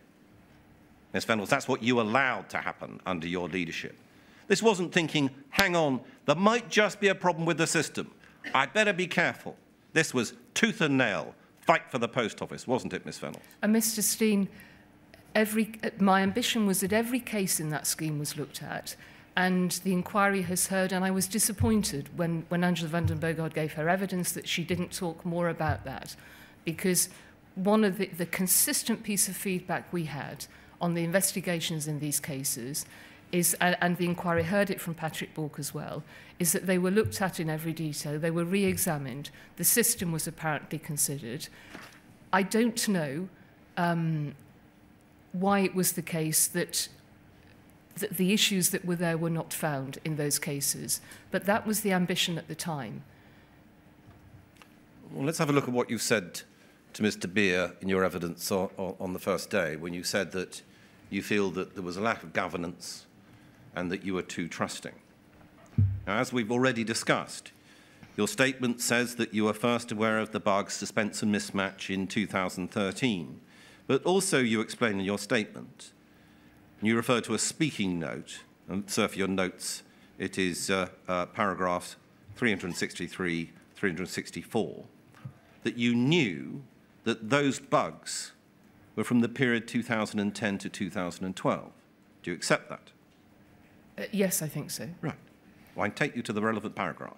I, I'll Plain and simply simply there, you're told in a speaking note that these are old bugs, okay? Or old bugs in terms of going back before 2013. And you say in your statement, you'd never been told about bugs, errors, or defects in the system. And you say in your evidence that what you've been told about the Horizon system, the Horizon system's robustness, was wrong. That's what you're saying. Do you agree? Yes. Okay. Now, help us understand from your work within the post office, why was it that the knowledge of the mismatch bug and the way it was dealt with was known to key post office figures, yet that information had not been supplied to either Ms. van den Bogerd or yourself until 2013. How did it happen, Ms. Vennells? I, I understand that the, the situation, that there was managers involved in a meeting looking at the bug. They took a decision on the, the best approach to it, and it stayed within. No, no, no, no, Ms. Vennells. That, that's not the question, is it? How come you weren't told about this until 2013, instead of being told, no problem with the system, Ms. Vennells, it's robust, no bugs in the system? How come you hadn't been told until 2013 that that actually was a lie? It's not true. There were bugs in the system. You did ask that question, didn't you? Are you saying that you didn't ask that question?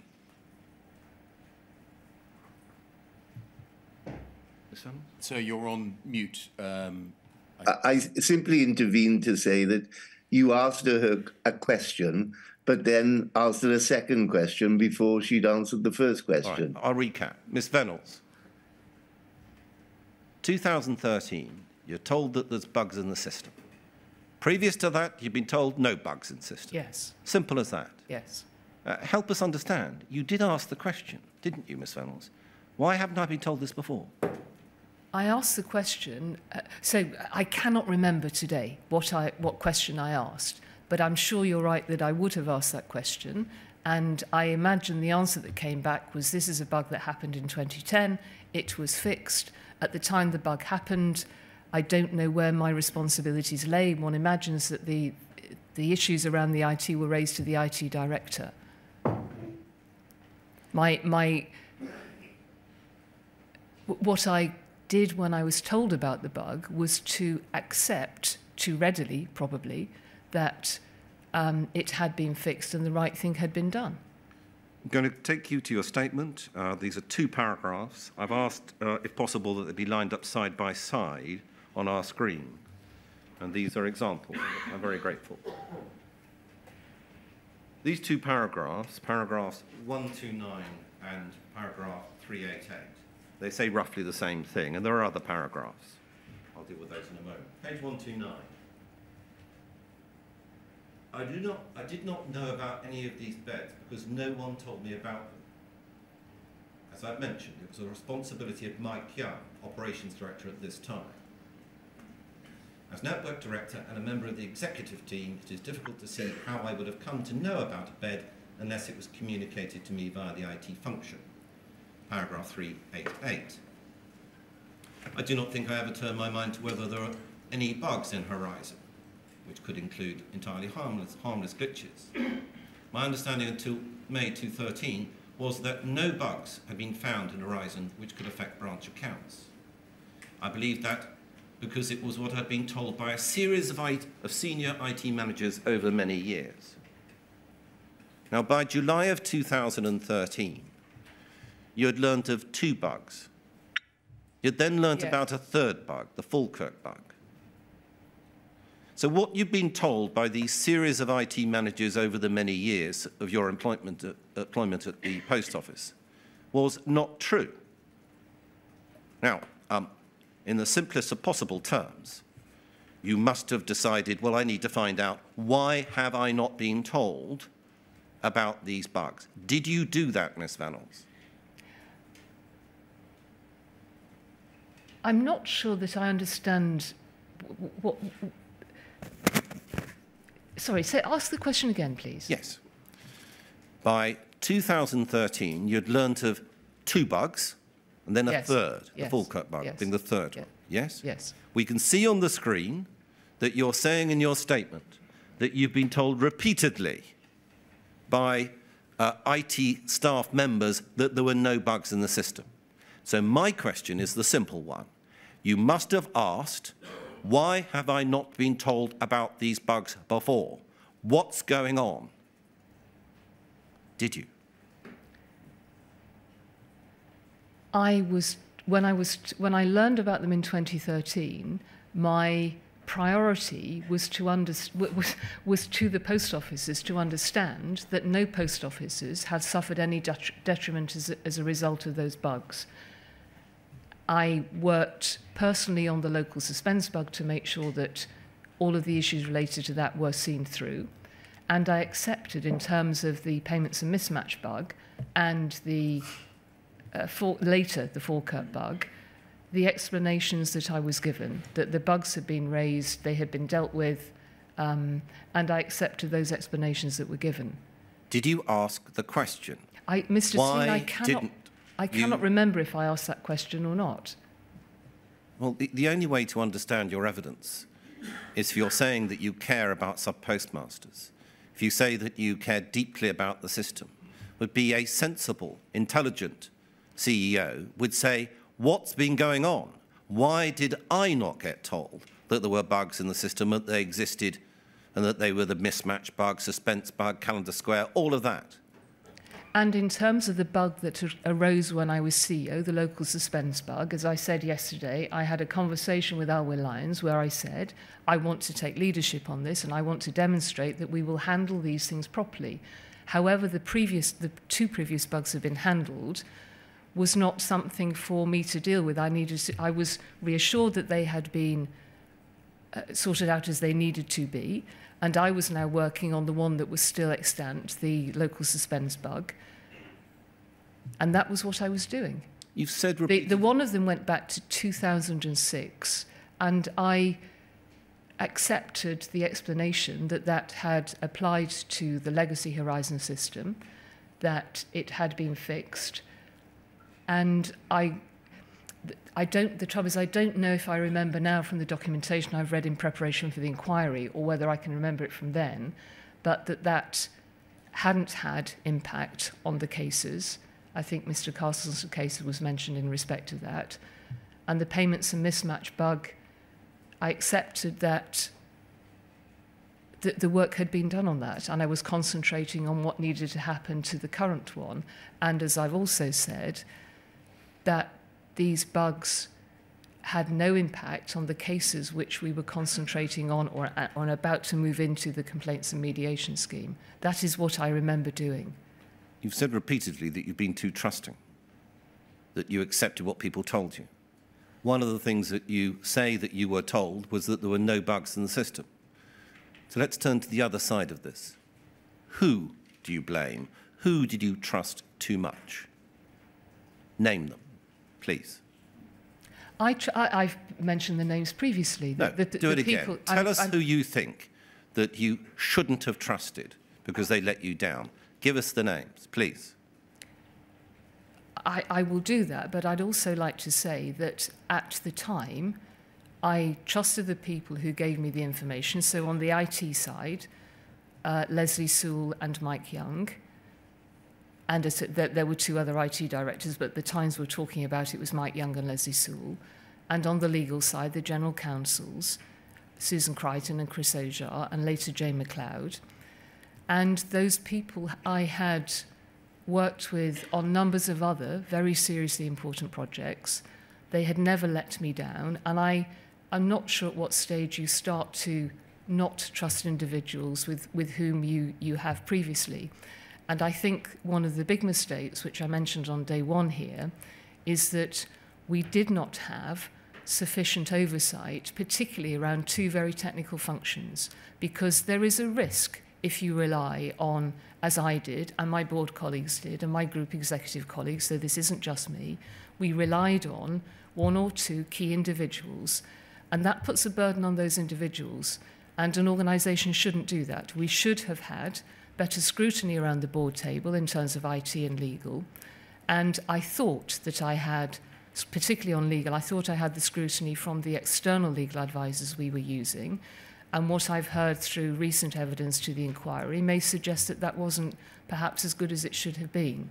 Let's stay with bugs, errors, and defects. You mentioned Mike Young. Yes. Right. Mike Young is referred to in your statement as someone that had told you that there's no difficulty with the system, there are no bugs in the system. By mid 2013, you knew that not to be true. He was someone that hadn't told you the truth. Do you agree?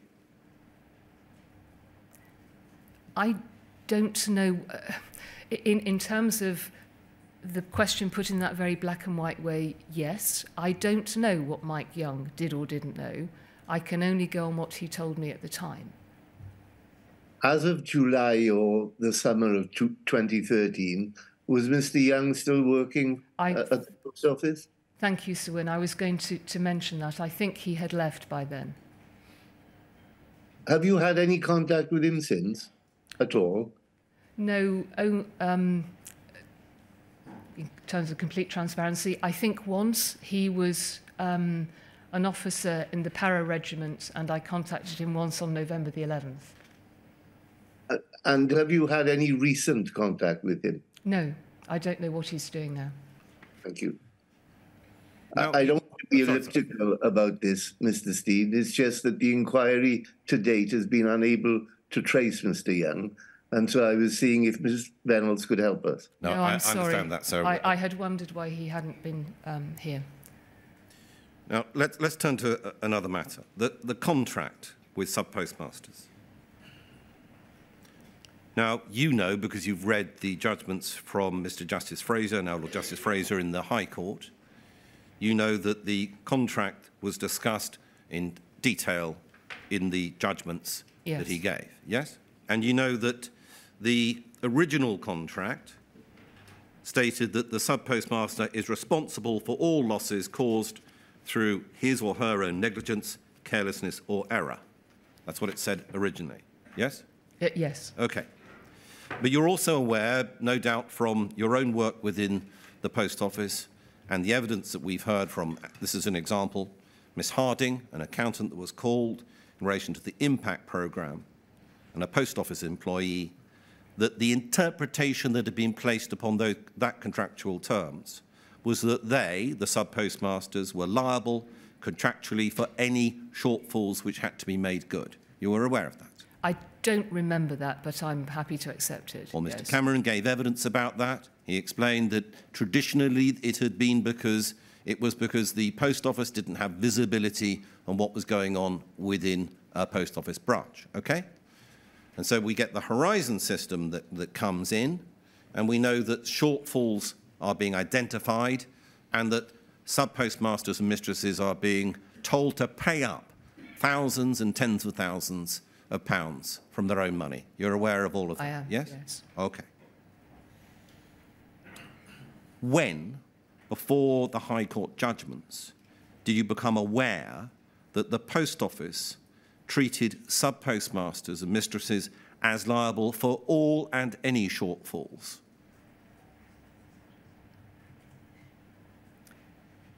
Is that the change from to the network transformation contract? I'll move on to network transformation in a moment and, the court, and what happened to the contract. So my question is, before the High Court judgments, when did you become aware that the situation within the post office was that sub-postmasters were being told to pay up for shortfalls? I believed that was the way the contract was in place from when I joined as network Fine. director. Okay, all right. So you accepted, is this correct, that there was effectively automatic liability for a sub-postmaster for an apparent shortfall identified on the Horizon system of, for example, £20,000? That's what you believed was the situation, and you thought it was fair. Is that right, Ms Vennells? I understood. I'm, sure, I'm, not, I'm, I'm not entirely sure what you're asking. I, I understood the contract that was in place, and I relied on the the expertise of those dealing with it, dealing with investigations, to come to whatever the correct interpretation was. I never personally had any close involvement with the contract or how that was interpreted or how postmasters were held accountable for it. You, you turn to this all the time, don't you, Ms Vennells? You always keep a distance between any knowledge that you've got and application of that knowledge.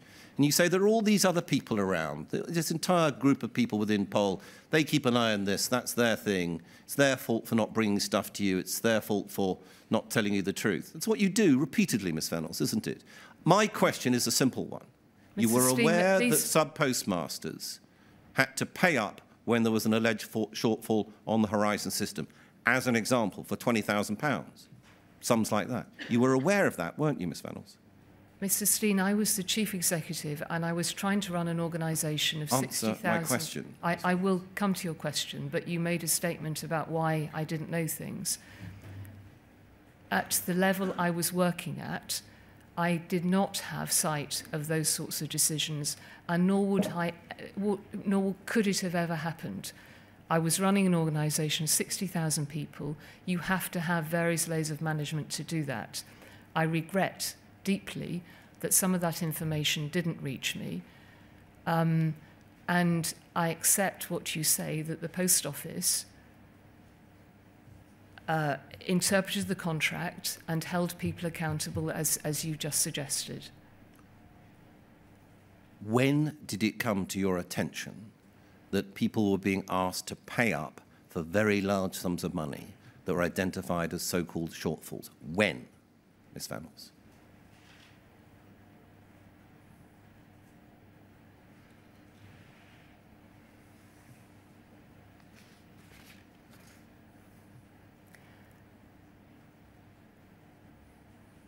I imagine when we were starting to, or when the, the team working on the complaints and mediation scheme were looking at the detail of some of those cases. And it, I knew about Mrs. Misra's case, which was a huge amount of money. Um, I can't remember other examples, but I'm sure there were some. Right. So we've identified that this came to your attention in the way that I've described. This again is around 2013, is that fair? Yes, I would think so. Okay, right. Now, what inquiry did you make, having this being brought to your attention, that the Horizon system blames all shortfalls upon sub-postmasters for large sums of money? What did you do about that? What inquiry did you make about it, Miss Vennells? I set up the, the complaint and mediation scheme to look into every single one of those inquiries. See, a reasonable, caring CEO would have said, I want answers. I want to know what's going on. I want to find out about what's happening to these people, the sub-postmasters, that are lifeblood of the system. And I want to know that answer with me now, not set up some distant review. Ms. Vennells, you didn't do that, did you? I think you will find cases where I ask those sorts of questions, but where we were dealing with historic cases, they needed to go through a proper review process. You can't, just as a chief executive, ask somebody for their opinion on something. You have to go into it in a huge amount of detail, which is what I understood was happening. And I regret that we did not deal with those cases as, as we should have done. Now, we've mentioned the Network Transformation Programme, and we're going to just have a brief look at the 2013 version of the contract, which is at POL 403872.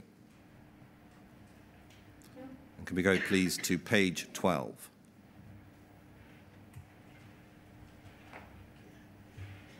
What were the last three numbers again, Mrs. Stein? Last uh, three numbers are, well, four numbers are 3872. 3872. Thank you very. POL 403872. Thanks very much. And if we can scroll down slightly, we'll see paragraph 4.1. If you can just highlight the 4.1, I'd be very grateful. Right. So we've discussed what the original contract said. The original contract, which said that the sub postmaster is responsible for all losses caused through his own negligence, carelessness, or error. Okay? So, network transformation program coming in in relation to the new contract being put in place, we think the new contract by 2013, and this contractual term that we're about to look at is repeated in 2014.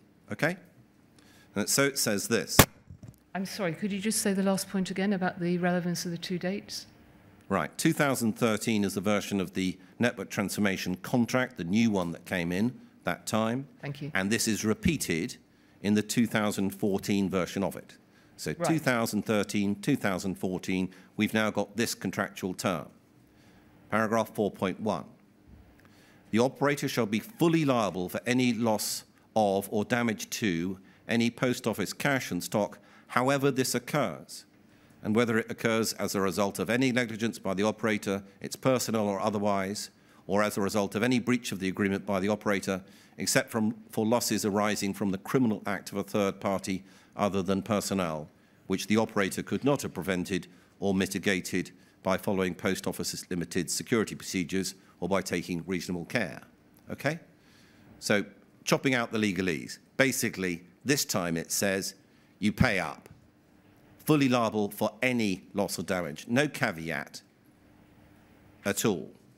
No, nothing being said this time about losses being only responsible, being sub postmaster, sorry, being responsible for all losses caused through his own negligence or carelessness. This time it's straight pay up. Do you accept that? Yes. Okay. So again, by 2013, what you've known about, and we've gone through, the collection of problems in the Horizon system, which tell you that there are bugs in the system,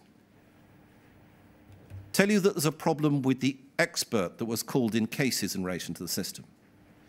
What the Post Office does, in the teeth of all of that evidence and those issues, is it actually tightens the contractual screw, doesn't it, on sub postmasters? That's what the post office was about. Even in the face of what must have been doubts about the system, the post offices, the post office decides, let's make damn sure that the post office, post office sub postmasters and mistresses pay up. You knew about that, didn't you, Miss Vennells? I was aware that the network trans. So when we went into network transformation, the contract that had been in place for many, many years had had numerous iterations to it, and the organisation took the opportunity. This was led by the then network director Kevin Gilliland and the legal team, and they took the opportunity to, as I understood it, simplify the contract and put something in place that would be more manageable for sub postmasters. When the network transformation, sorry, more manageable in terms of what they had had previously was a contract with many, many, many addendums added to it, addenda added to it. Um, this was an opportunity to restate the contract. The contract was signed by, I think, 4,000 new postmasters um, because of the issues that had been raised by Second Sight. We made sure that they had copies of the contract and that they had legal advisors to assist them as they went through it. As far as I'm aware, we had no feedback whatsoever uh, about. Well, to be fair, the new people coming in would have known this was a change, but there were also existing sub postmasters who signed for the new contract. I, I understand the point you're making about this tightening it up. I didn't know that at the time. Um, but it was accepted uh, by the, uh, the new and the existing sub-postmasters who had changed to this contract with legal advice. But I completely understand the point you're making. It's under your I leadership, Ms Vennells. It's under your leadership. You were meant to be setting a tone, a tone that should have gone through this organisation, a tone of caring, you've explained. No one could have cared more for sub-postmasters. But under your leadership and your tone, they tightened the contractual screw. It's right, isn't it, Ms Vennells? The contract was, th th th this, this clause was changed. I was not involved in that conversation at all. Um, and it was never presented to me in the way you have. I completely accept that with the issues that there were with the Horizon system, the things that we have since understood, that this absolutely, where things went wrong for postmasters, was a more difficult contract than the one that had been there previously. Although, as you said before, I believe the interpretation of the previous one was more along the lines of what this, this amendment said. Take to another document. It's FUJ 402037. FUJ 402037. While that's coming up, and yes, sorry to take a minute of your time, Mr. Stein, but uh, you said that this contract was the contract which newcomers to the post office, office uh, as sub postmasters would uh, conclude. But you also said that existing postmasters, um, so already contractually bound, uh, signed this contract. Now, the question I want to ask is was that optional? W were they in effect um, cajoled into signing it, or what? What happened? The one, the, the existing postmaster. Yes, I understand, Sir William. Um, it, was optional, and those sub. So, so this. I'm sorry. No, pe pe no. Pe people should not shout out from the public gallery, otherwise they'll be removed. The witness should give her evidence without interruption. Thank you, Mr. Beer. Thank you. I, I, I tried to explain earlier, this was quite a, a, complex program network transformation. There were a number of different options for sub-postmasters. Some chose to stay on the existing contract. Some, in a sense, had no option other than to stay on the existing contract because they were within what were called protected areas. Those, some, some chose to leave the organisation and they took with them um, compensation which was funded by, had been negotiated with the NFSP and was funded by government from this investment subsidy. And others chose to take um, an investment which the post office made with them, for them and with them, to convert their existing post offices to what was called a mains or a locals post office. And that was when they changed to the mains contract. So I don't know, Sir Wyn, the number of post offices in the new mains contract which were existing or new sub postmasters, but there was a, a mix of the two. Uh, that's fine. I just wanted to get a flavour of what occurred. Thank you. And you can add two minutes to your time, Mrs. Stein. Thank, thank you, sir. I'll try and use them wisely. FUJ. I should have been briefer. Four zeros 2037. Thank you. Now, this document is an application support service fourth line service description. Now, that rather entertaining title is, uh, is a document that is dated the 24th of August 2006. So this predates your employment, okay? We go to the bottom of uh, the first page, please. And you'll see that this document has I'm got sorry, approved. Mr. Stein. What, what, what was this document? Could I? You could just tell Yes, me go the to the title top again, again, please. Right. What this document is, application support service, fourth line service description. Okay? Right. Okay. All right. Thank you. So just to make sure, as it says Fujitsu services at the top left-hand corner, just to make sure that this is also known to the post office, we'll go to the bottom of the first page. Thank you. Right. You'll see there approval authorities, name Dave Hulbert, Post Office Head of Systems Operations, and Richard uh, Brunskill, Fujitsu Services. Okay? Yes. So it's a joint document, Fujitsu and Post Office, 2006. All right? I'm going to go to page 9, paragraph 2.7.1 at the bottom of the page. Okay. Now, you've been asked a number of questions by Mr. Beer, which was that the inquiry has been able to find out documents that uh, demonstrate that there were issues within the system. The inquiry has been able to ask the right questions and receive documents describing the issues within the system. Okay? All you needed to do was ask, what do we do about these, these bugs? Look at the bottom of the page, 2.7.1, third line support service. The third line support service works closely with the application support service, fourth line, to provide bug fixes to enable the resolution of software incidents. 2006, Ms. Vennells. An entire system that is devoted.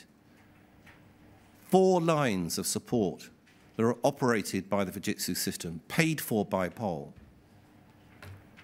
trying to get to resolve bug issues. And you didn't ask the question, how do we fix these things? What's the system? Or did you?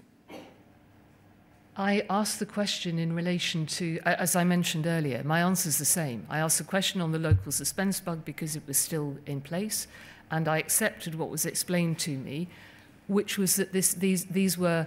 I, I don't think we even had a conversation about the Callendar Square bug because it was so long ago. The one in 2010, I was told that all the work had been done and had been fixed.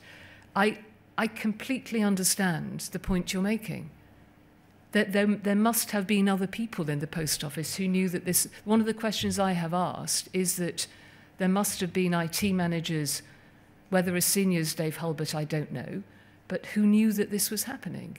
I heard Mr. Cipriani's evidence, where I heard that there was fix upon fix and documentation wasn't in place. I don't understand why the post office or who in the post office knew this. I don't believe any chief executive, let alone network director in a different stream, would understand about the third or fourth line support of an IT system. But I'm very disappointed that I didn't and that, that somehow that information wasn't explained in some way. You're doing it again, Ms. Vennells, aren't you? Wasn't explained. You're, you're doing it again, aren't you? You're saying that other people might, it might have been quite nice if they'd explained this to me. You do that as a way of avoiding the problem, which is that at best you didn't ask the question, at worst you knew that the answer would not help the post office. It's what you do, isn't it, Ms. Vennells? You distance yourself time and time again, and you blame these mysterious other people for not telling you the truth. Mr. Stein, the inquiry's seen the number of questions I asked. If I ask questions of senior people in IT or legal around issues that I don't understand or issues I don't know about, if I don't know there is a third line support service providing bug fixes from 2006, I can't ask the question about it. I'm going to turn briefly to uh, whistleblowing policies and how that was dealt with by the Post Office in 2018. Document POL 30030969.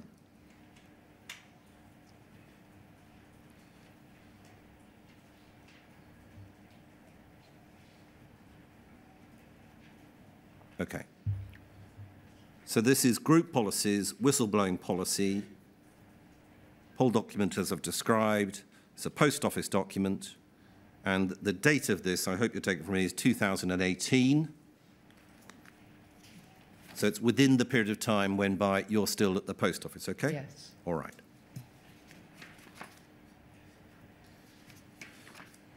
Can we go, please, to page 3 of 15 and paragraph 1.4, bottom of the page?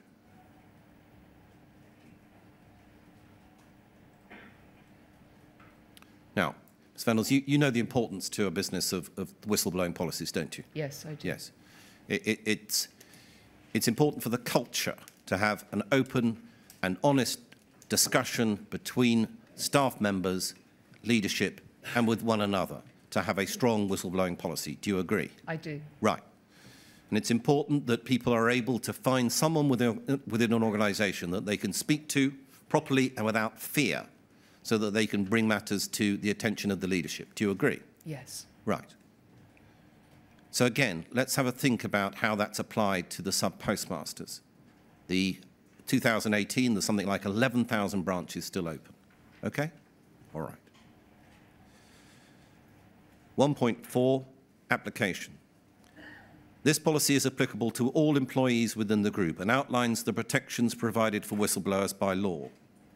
In order to encourage reporting of wrongdoing, Post Office will, where appropriate, extend equivalent protection to postmasters, agent assistants and members of the public. Now, to your knowledge, first of all, was even this tentative extension of the whistleblowing policy in 2018 the first time that it had been extended to sub-postmasters? I don't recall, I'm afraid. And why does this policy at 1.4 extend only that protection where appropriate to sub-postmasters, rather than saying, of course, we care about sub-postmasters. They need to have someone that they can speak to. It's an important part of the culture that they're able to identify issues and problems with the system. Why doesn't it just simply say that? I don't know. It's a good question. I've no idea why those words were necessary. Lastly, it's turned to what happened at the High Court again. You're aware, aren't you, that the High Court judge, Mr Justice Fraser, stated in his Horizon Issues judgment in December 2019 that he had gained the distinct impression that the Post Office is less committed to the speedy resolution of the entire group litigation than, than are the claimants. And Mr Justice Fraser then went on to refer to the extreme nature of costs, which were, even by the experience of a High Court judge, very high, even by the standards of commercial litigation. Do you remember him saying that? I think I may have left the organisation by then, but I will have read it in the judgment. Yes.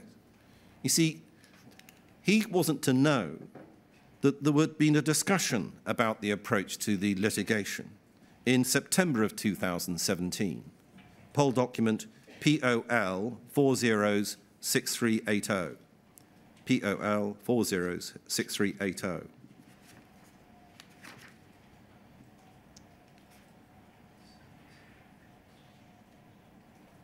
Thank you. Paragraph 4 of the document, bottom half of page 2.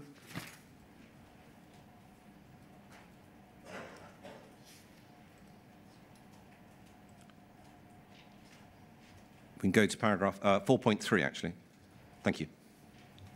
Right, so there's a Bond Dickinson strategy advice document being considered by the Post Office under your leadership as CEO. What it says there is we believe the better solution is to try to focus the claimants into a collective position where they will either abandon the claims or seek a reasonable settlement. It should be remembered that the claims that are financially supported by, by Freeth, whose fees are at least partially conditional on winning, a third-party funder and insurers. Without support, these proceedings would not have been possible. All three entities will have the power to pull their support if the merits of the case drop below a certain level. Our target audience is therefore Freeth, the funder and insurers, who will adopt a cold logical assessment of whether they'll get a payout rather than the claimants who may wish to fight on principle regardless of merits. 2017, the Post Office set about its strategy of fighting tooth and claw for its own reputational interests over those claimants at the High Court and adopted this strategy as the High Court judge identified. That happened under your leadership, Ms Vennells. All of this did. You set the tone, didn't you, Ms Vennells? And the tone was let's eliminate them. Let's get rid of these bugs in our system, the sub-postmasters. That's what you set in place, wasn't it, Ms Vennells? Is that a question? Because I'd like to Yes, there wasn't it, it. Mrs Vennells, Thank was you. the question. I Thank think you may have noticed. I, I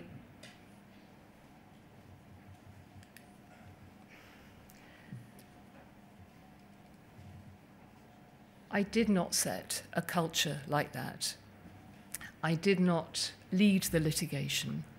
I remember reading this. Well, actually, I don't know if I saw this particular document because I was not personally involved in the litigation steering committee. There was a board subcommittee of which I was one member.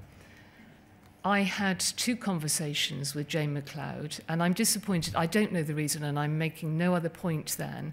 I'm disappointed that she can't come and give evidence to the inquiry uh, because I think it is important that the inquiry understands more around the approach to the, the group litigation. But I had two conversations with Jane that I remember clearly. They weren't documented because a lot of the organized the way that you work as a chief executive is you have conversations as you're going between meetings and things. But specifically, I sat down with Jane twice on this to say that I was very uncomfortable that the post office was going through this. The post office didn't call the group litigation. It was set in place by the postmasters, and I understand why, and I'm very pleased that it was, so that we've got to where we are today.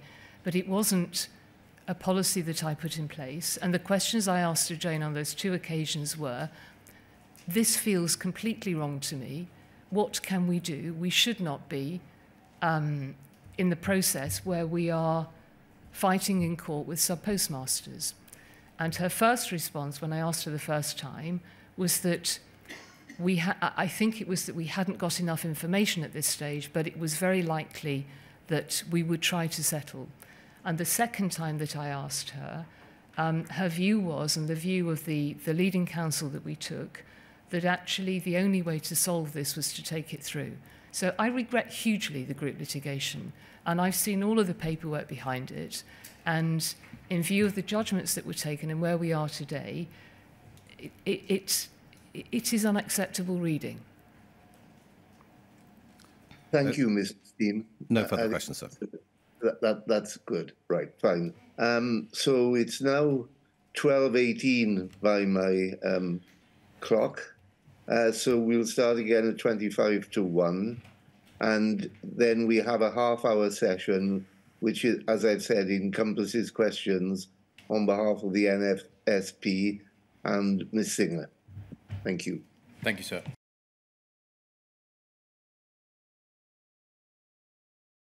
Sir, good afternoon. Can you see and hear us? Yes, thank you. So we have Miss Watt on behalf of the NFSP and then Miss Christy Allen on behalf of Susie Sinclair, Susan Sinclair. Thank you. So, Ms. Watt, would you be kind enough to arrange your questioning so that you finished around about five to one, please? Uh, sorry, sir, a roundabout? Five to one? Yes, uh, thank you, I will. Uh, Ms Vennells, I appear for the NFSP. Uh, just by way of explanation, the NFSP uh, of today is a core participant at this inquiry. It's provided hundreds of documents to the inquiry to help understand what was being said and done during the Horizon scandal.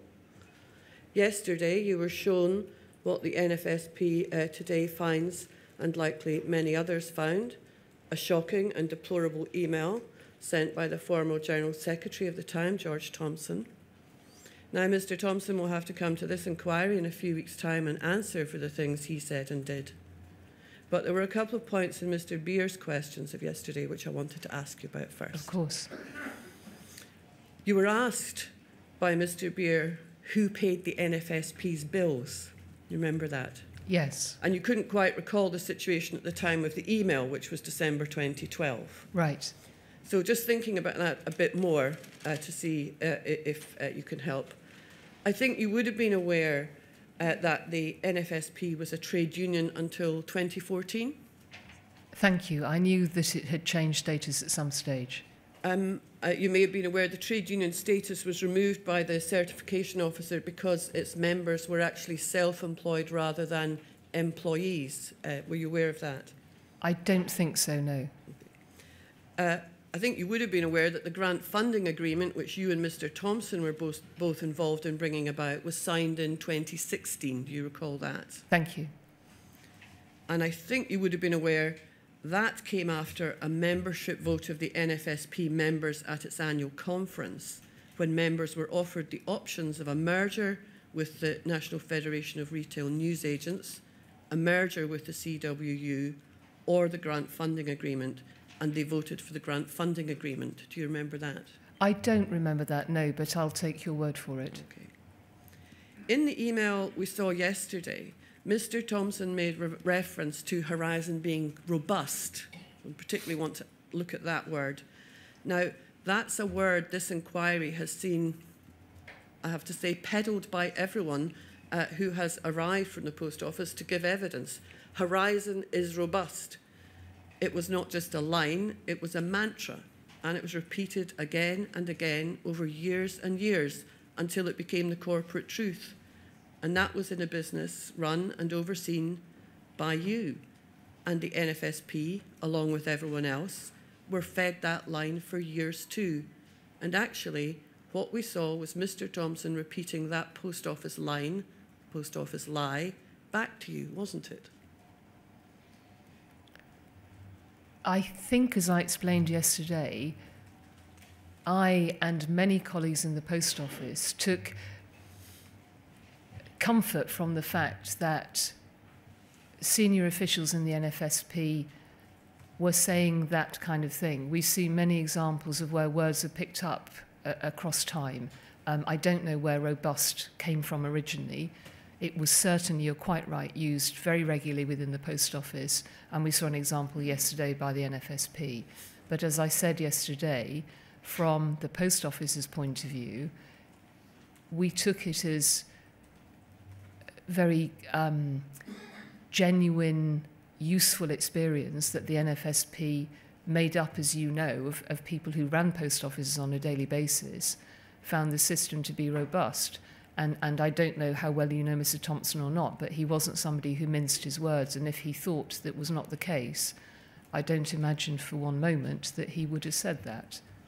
But you would accept that the word robust has its origins in the post office? I don't know. I, I, I imagine so, but I, I really don't know. Uh, just moving on, uh, you were network director and a member of the senior management team, then CEO of the post office uh, during the period of the Horizon prosecutions. And wrapping up everything uh, that's been heard uh, here over the last few days, I'm going to make some suggestions to you and you can agree with me or not at the end of each one. I won't ask it as a question, I'll put it to you and you can tell me whether you agree or not or accept Thank it you. or not. That you took decisions not to look into things further to avoid finding out how bad things were. I did not. That you presided over a culture where issues did not come before the board if you did not want them to. Absolutely not. That you presided over a culture which meant everyone below and reporting to you across all areas of the business thought about post office reputation first before everything else. No. That you presided over a culture which saw sub postmasters as subordinate to all of the business's interests, despite their actual partnership with the post office, their financial stake in the business, a stake which provided profits to the post office. No, and personally, absolutely not. That you presided over a culture which had as its priority a requirement to ensure that the message, nothing is wrong, everything is fine, horizon is robust, and that led to MPs, government ministers, the media, the NFSP, the CWU, the courts, many others, being told for years and years that Horizon was robust when that wasn't true. I'm sorry, that w- c- could you, presided shorten over the that question? culture. you presided over a culture that, that allowed that to happen. I, I'm sorry, the statement was too long for me to recall. I'm really sorry. Would you mind? I'll Split it it. into two sentences if you can. Yeah. Or, that you presided over a culture which has as its priority a requirement to ensure that the message was nothing is wrong, everything is fine, horizon is robust. Everyone was told that. That's not the case. I, I'm sorry, but th- there is a qualification to that, that clearly for the people affected by this, that was absolutely the case, but that was not a culture. That you presided over a culture in which to maintain that aura of nothing is wrong and everything is fine, you needed to surround yourself with a variety of suitable people handy defensive people who would make sure no dirty laundry landed on the post office doorstep, such as Angela van den Bogerd, disposable professionals such as Susan Crichton, who could be blamed for anything that was going wrong. Do you accept you presided over that culture? No, absolutely not. Looking at your witness statement, I'm not going to call it up just for, for speed, um, but at paragraphs 14 to 18, uh, you outline the roles you held at the time, and I, I've mentioned that. But across a period from 2007 to 2019, uh, you had those various roles. And we've heard evidence throughout the inquiry that the culture within the investigation and audit branches was aggressive, that sub postmasters were guilty rather than innocent from the outset. Terminology in investigations uh, used offender reports. Do you accept that was a culture inbuilt across all levels of management which you oversaw? No, and I think it's important I add a clarification to that as well. The, when I became chief executive, we fairly soon afterwards stopped prosecutions, and the size of that team and the approach of that team um, was discussed and it was changed substantially. Most of those allegations that you have heard, uh, and I'm not at all challenging them in terms of the way they came across the people who made them, um, were from earlier. Um, I want to uh, look at the franchising of Crown Post offices when you were network director. Uh, you talk about that at paragraph 25 of your statement, just right. for reference. So, whereas the NFSP had a sub postmaster membership, the Crown offices had a trade union membership. Uh, so, you would have dealt with unions such as the CWU when overseeing the franchising of Crown Post offices. Would that be correct? Yes, that's correct. And it would have been important to you to have had union buy-in for the continuation of Horizon. I'm sorry, I'm not sure I understand the question or the sequence. As, as part of the overall um, work that you did with, uh, with the unions and uh, the franchising, it would have been important for uh, the unions to remain bought into Horizon as the system. It was very difficult to get the unions to buy into anything. Um, I don't recall any conversations with either the CW or the CMA would have been the other one about them buying into Horizon. But you wouldn't have wanted them to start a dispute about Horizon, for instance, would you? Th there was no way I had any influence over whether those unions started disputes or not. I think it's correct to say, isn't it, that the NFSP, the CWU, and also the Royal Mail Group had facilities and offices within uh, the post office main building for them to conduct business with the post office. We've heard some evidence of that. Is that something you remember? I think it may have been the case with Royal Mail, but not, not with the post office. Um, have you any idea what the value of those facilities uh, that were offered came to? No. Some final questions on network transformation. Um, at paragraph 144A of your witness statement, you uh, say the network transformation programme was designed to increase footfall and share costs between the sub post office and the re associated retail space.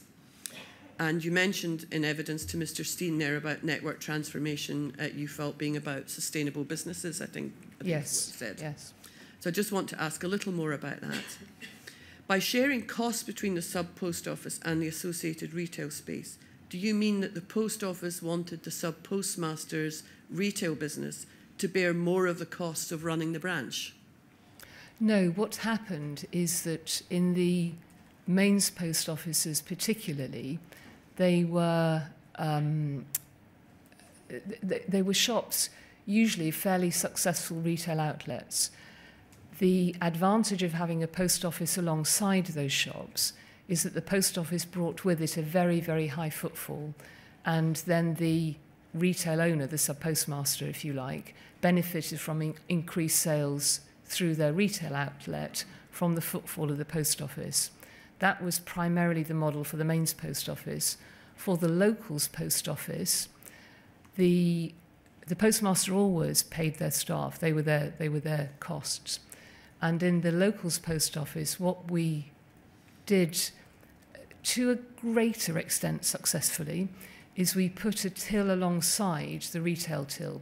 And it still happens today in, in a couple of my local post offices. You see the staff who work on the retail side working also at the post office counter, which meant that the sub-postmaster was able to reduce their overall staffing bills. Because if you're in a small shop and the footfall is less, what had to happen previously is you had to pay for two separate members of staff because they were two very separate and, and, and counters that were apart. Uh, would you agree that the network transformation programme actually had the effect of reducing the cost of the post office to the taxpayer by reducing the income to sub postmasters and passing the costs of providing post office services to the retailer? No, I, I, I, it's a very good question. What, what actually happened, um, and much business modelling was done. Business plans were produced by sub postmasters as well before they took on either of these models. What happened at the same time uh, is that the government particularly reduced its business through post offices and over this time government business which paid for sub paid the sales through sorry let me make that clearer if people came to post offices to take up pensions, benefits, process passports, DVLA, that sort of thing. They were all government business, and postmasters were paid in different ways per transaction for those. When that business was reduced dramatically, as it was, because government moved to a digital by default policy, so it wanted everybody getting pensions and benefits to have them paid directly into a bank account, rightly, actually, and it facilitated that. What it meant was that postmasters lost, and the post office lost money because that income simply no longer came through the post office. Um, would you accept that the network transformation programme actually ended up being to the detriment of sub postmasters? I don't believe so, and the programme was done for both postmasters and communities. We did research when the programme was put in place initially and then every year since, and I won't have remembered these figures correctly, but I think the satisfaction levels were high, and a figure of around 80% comes to mind. Uh, thank you, Ms Vennells. Those are my questions, and I think the Chair will be happy to find I'm slightly early. Thank you. I'm very grateful for your economy of words, Ms. Right. Um, on behalf of Ms Sinclair, then, please. Good afternoon, Ms Vennells. I'll stand up so that you can oh, see me, um, but I'll sit to do my questions.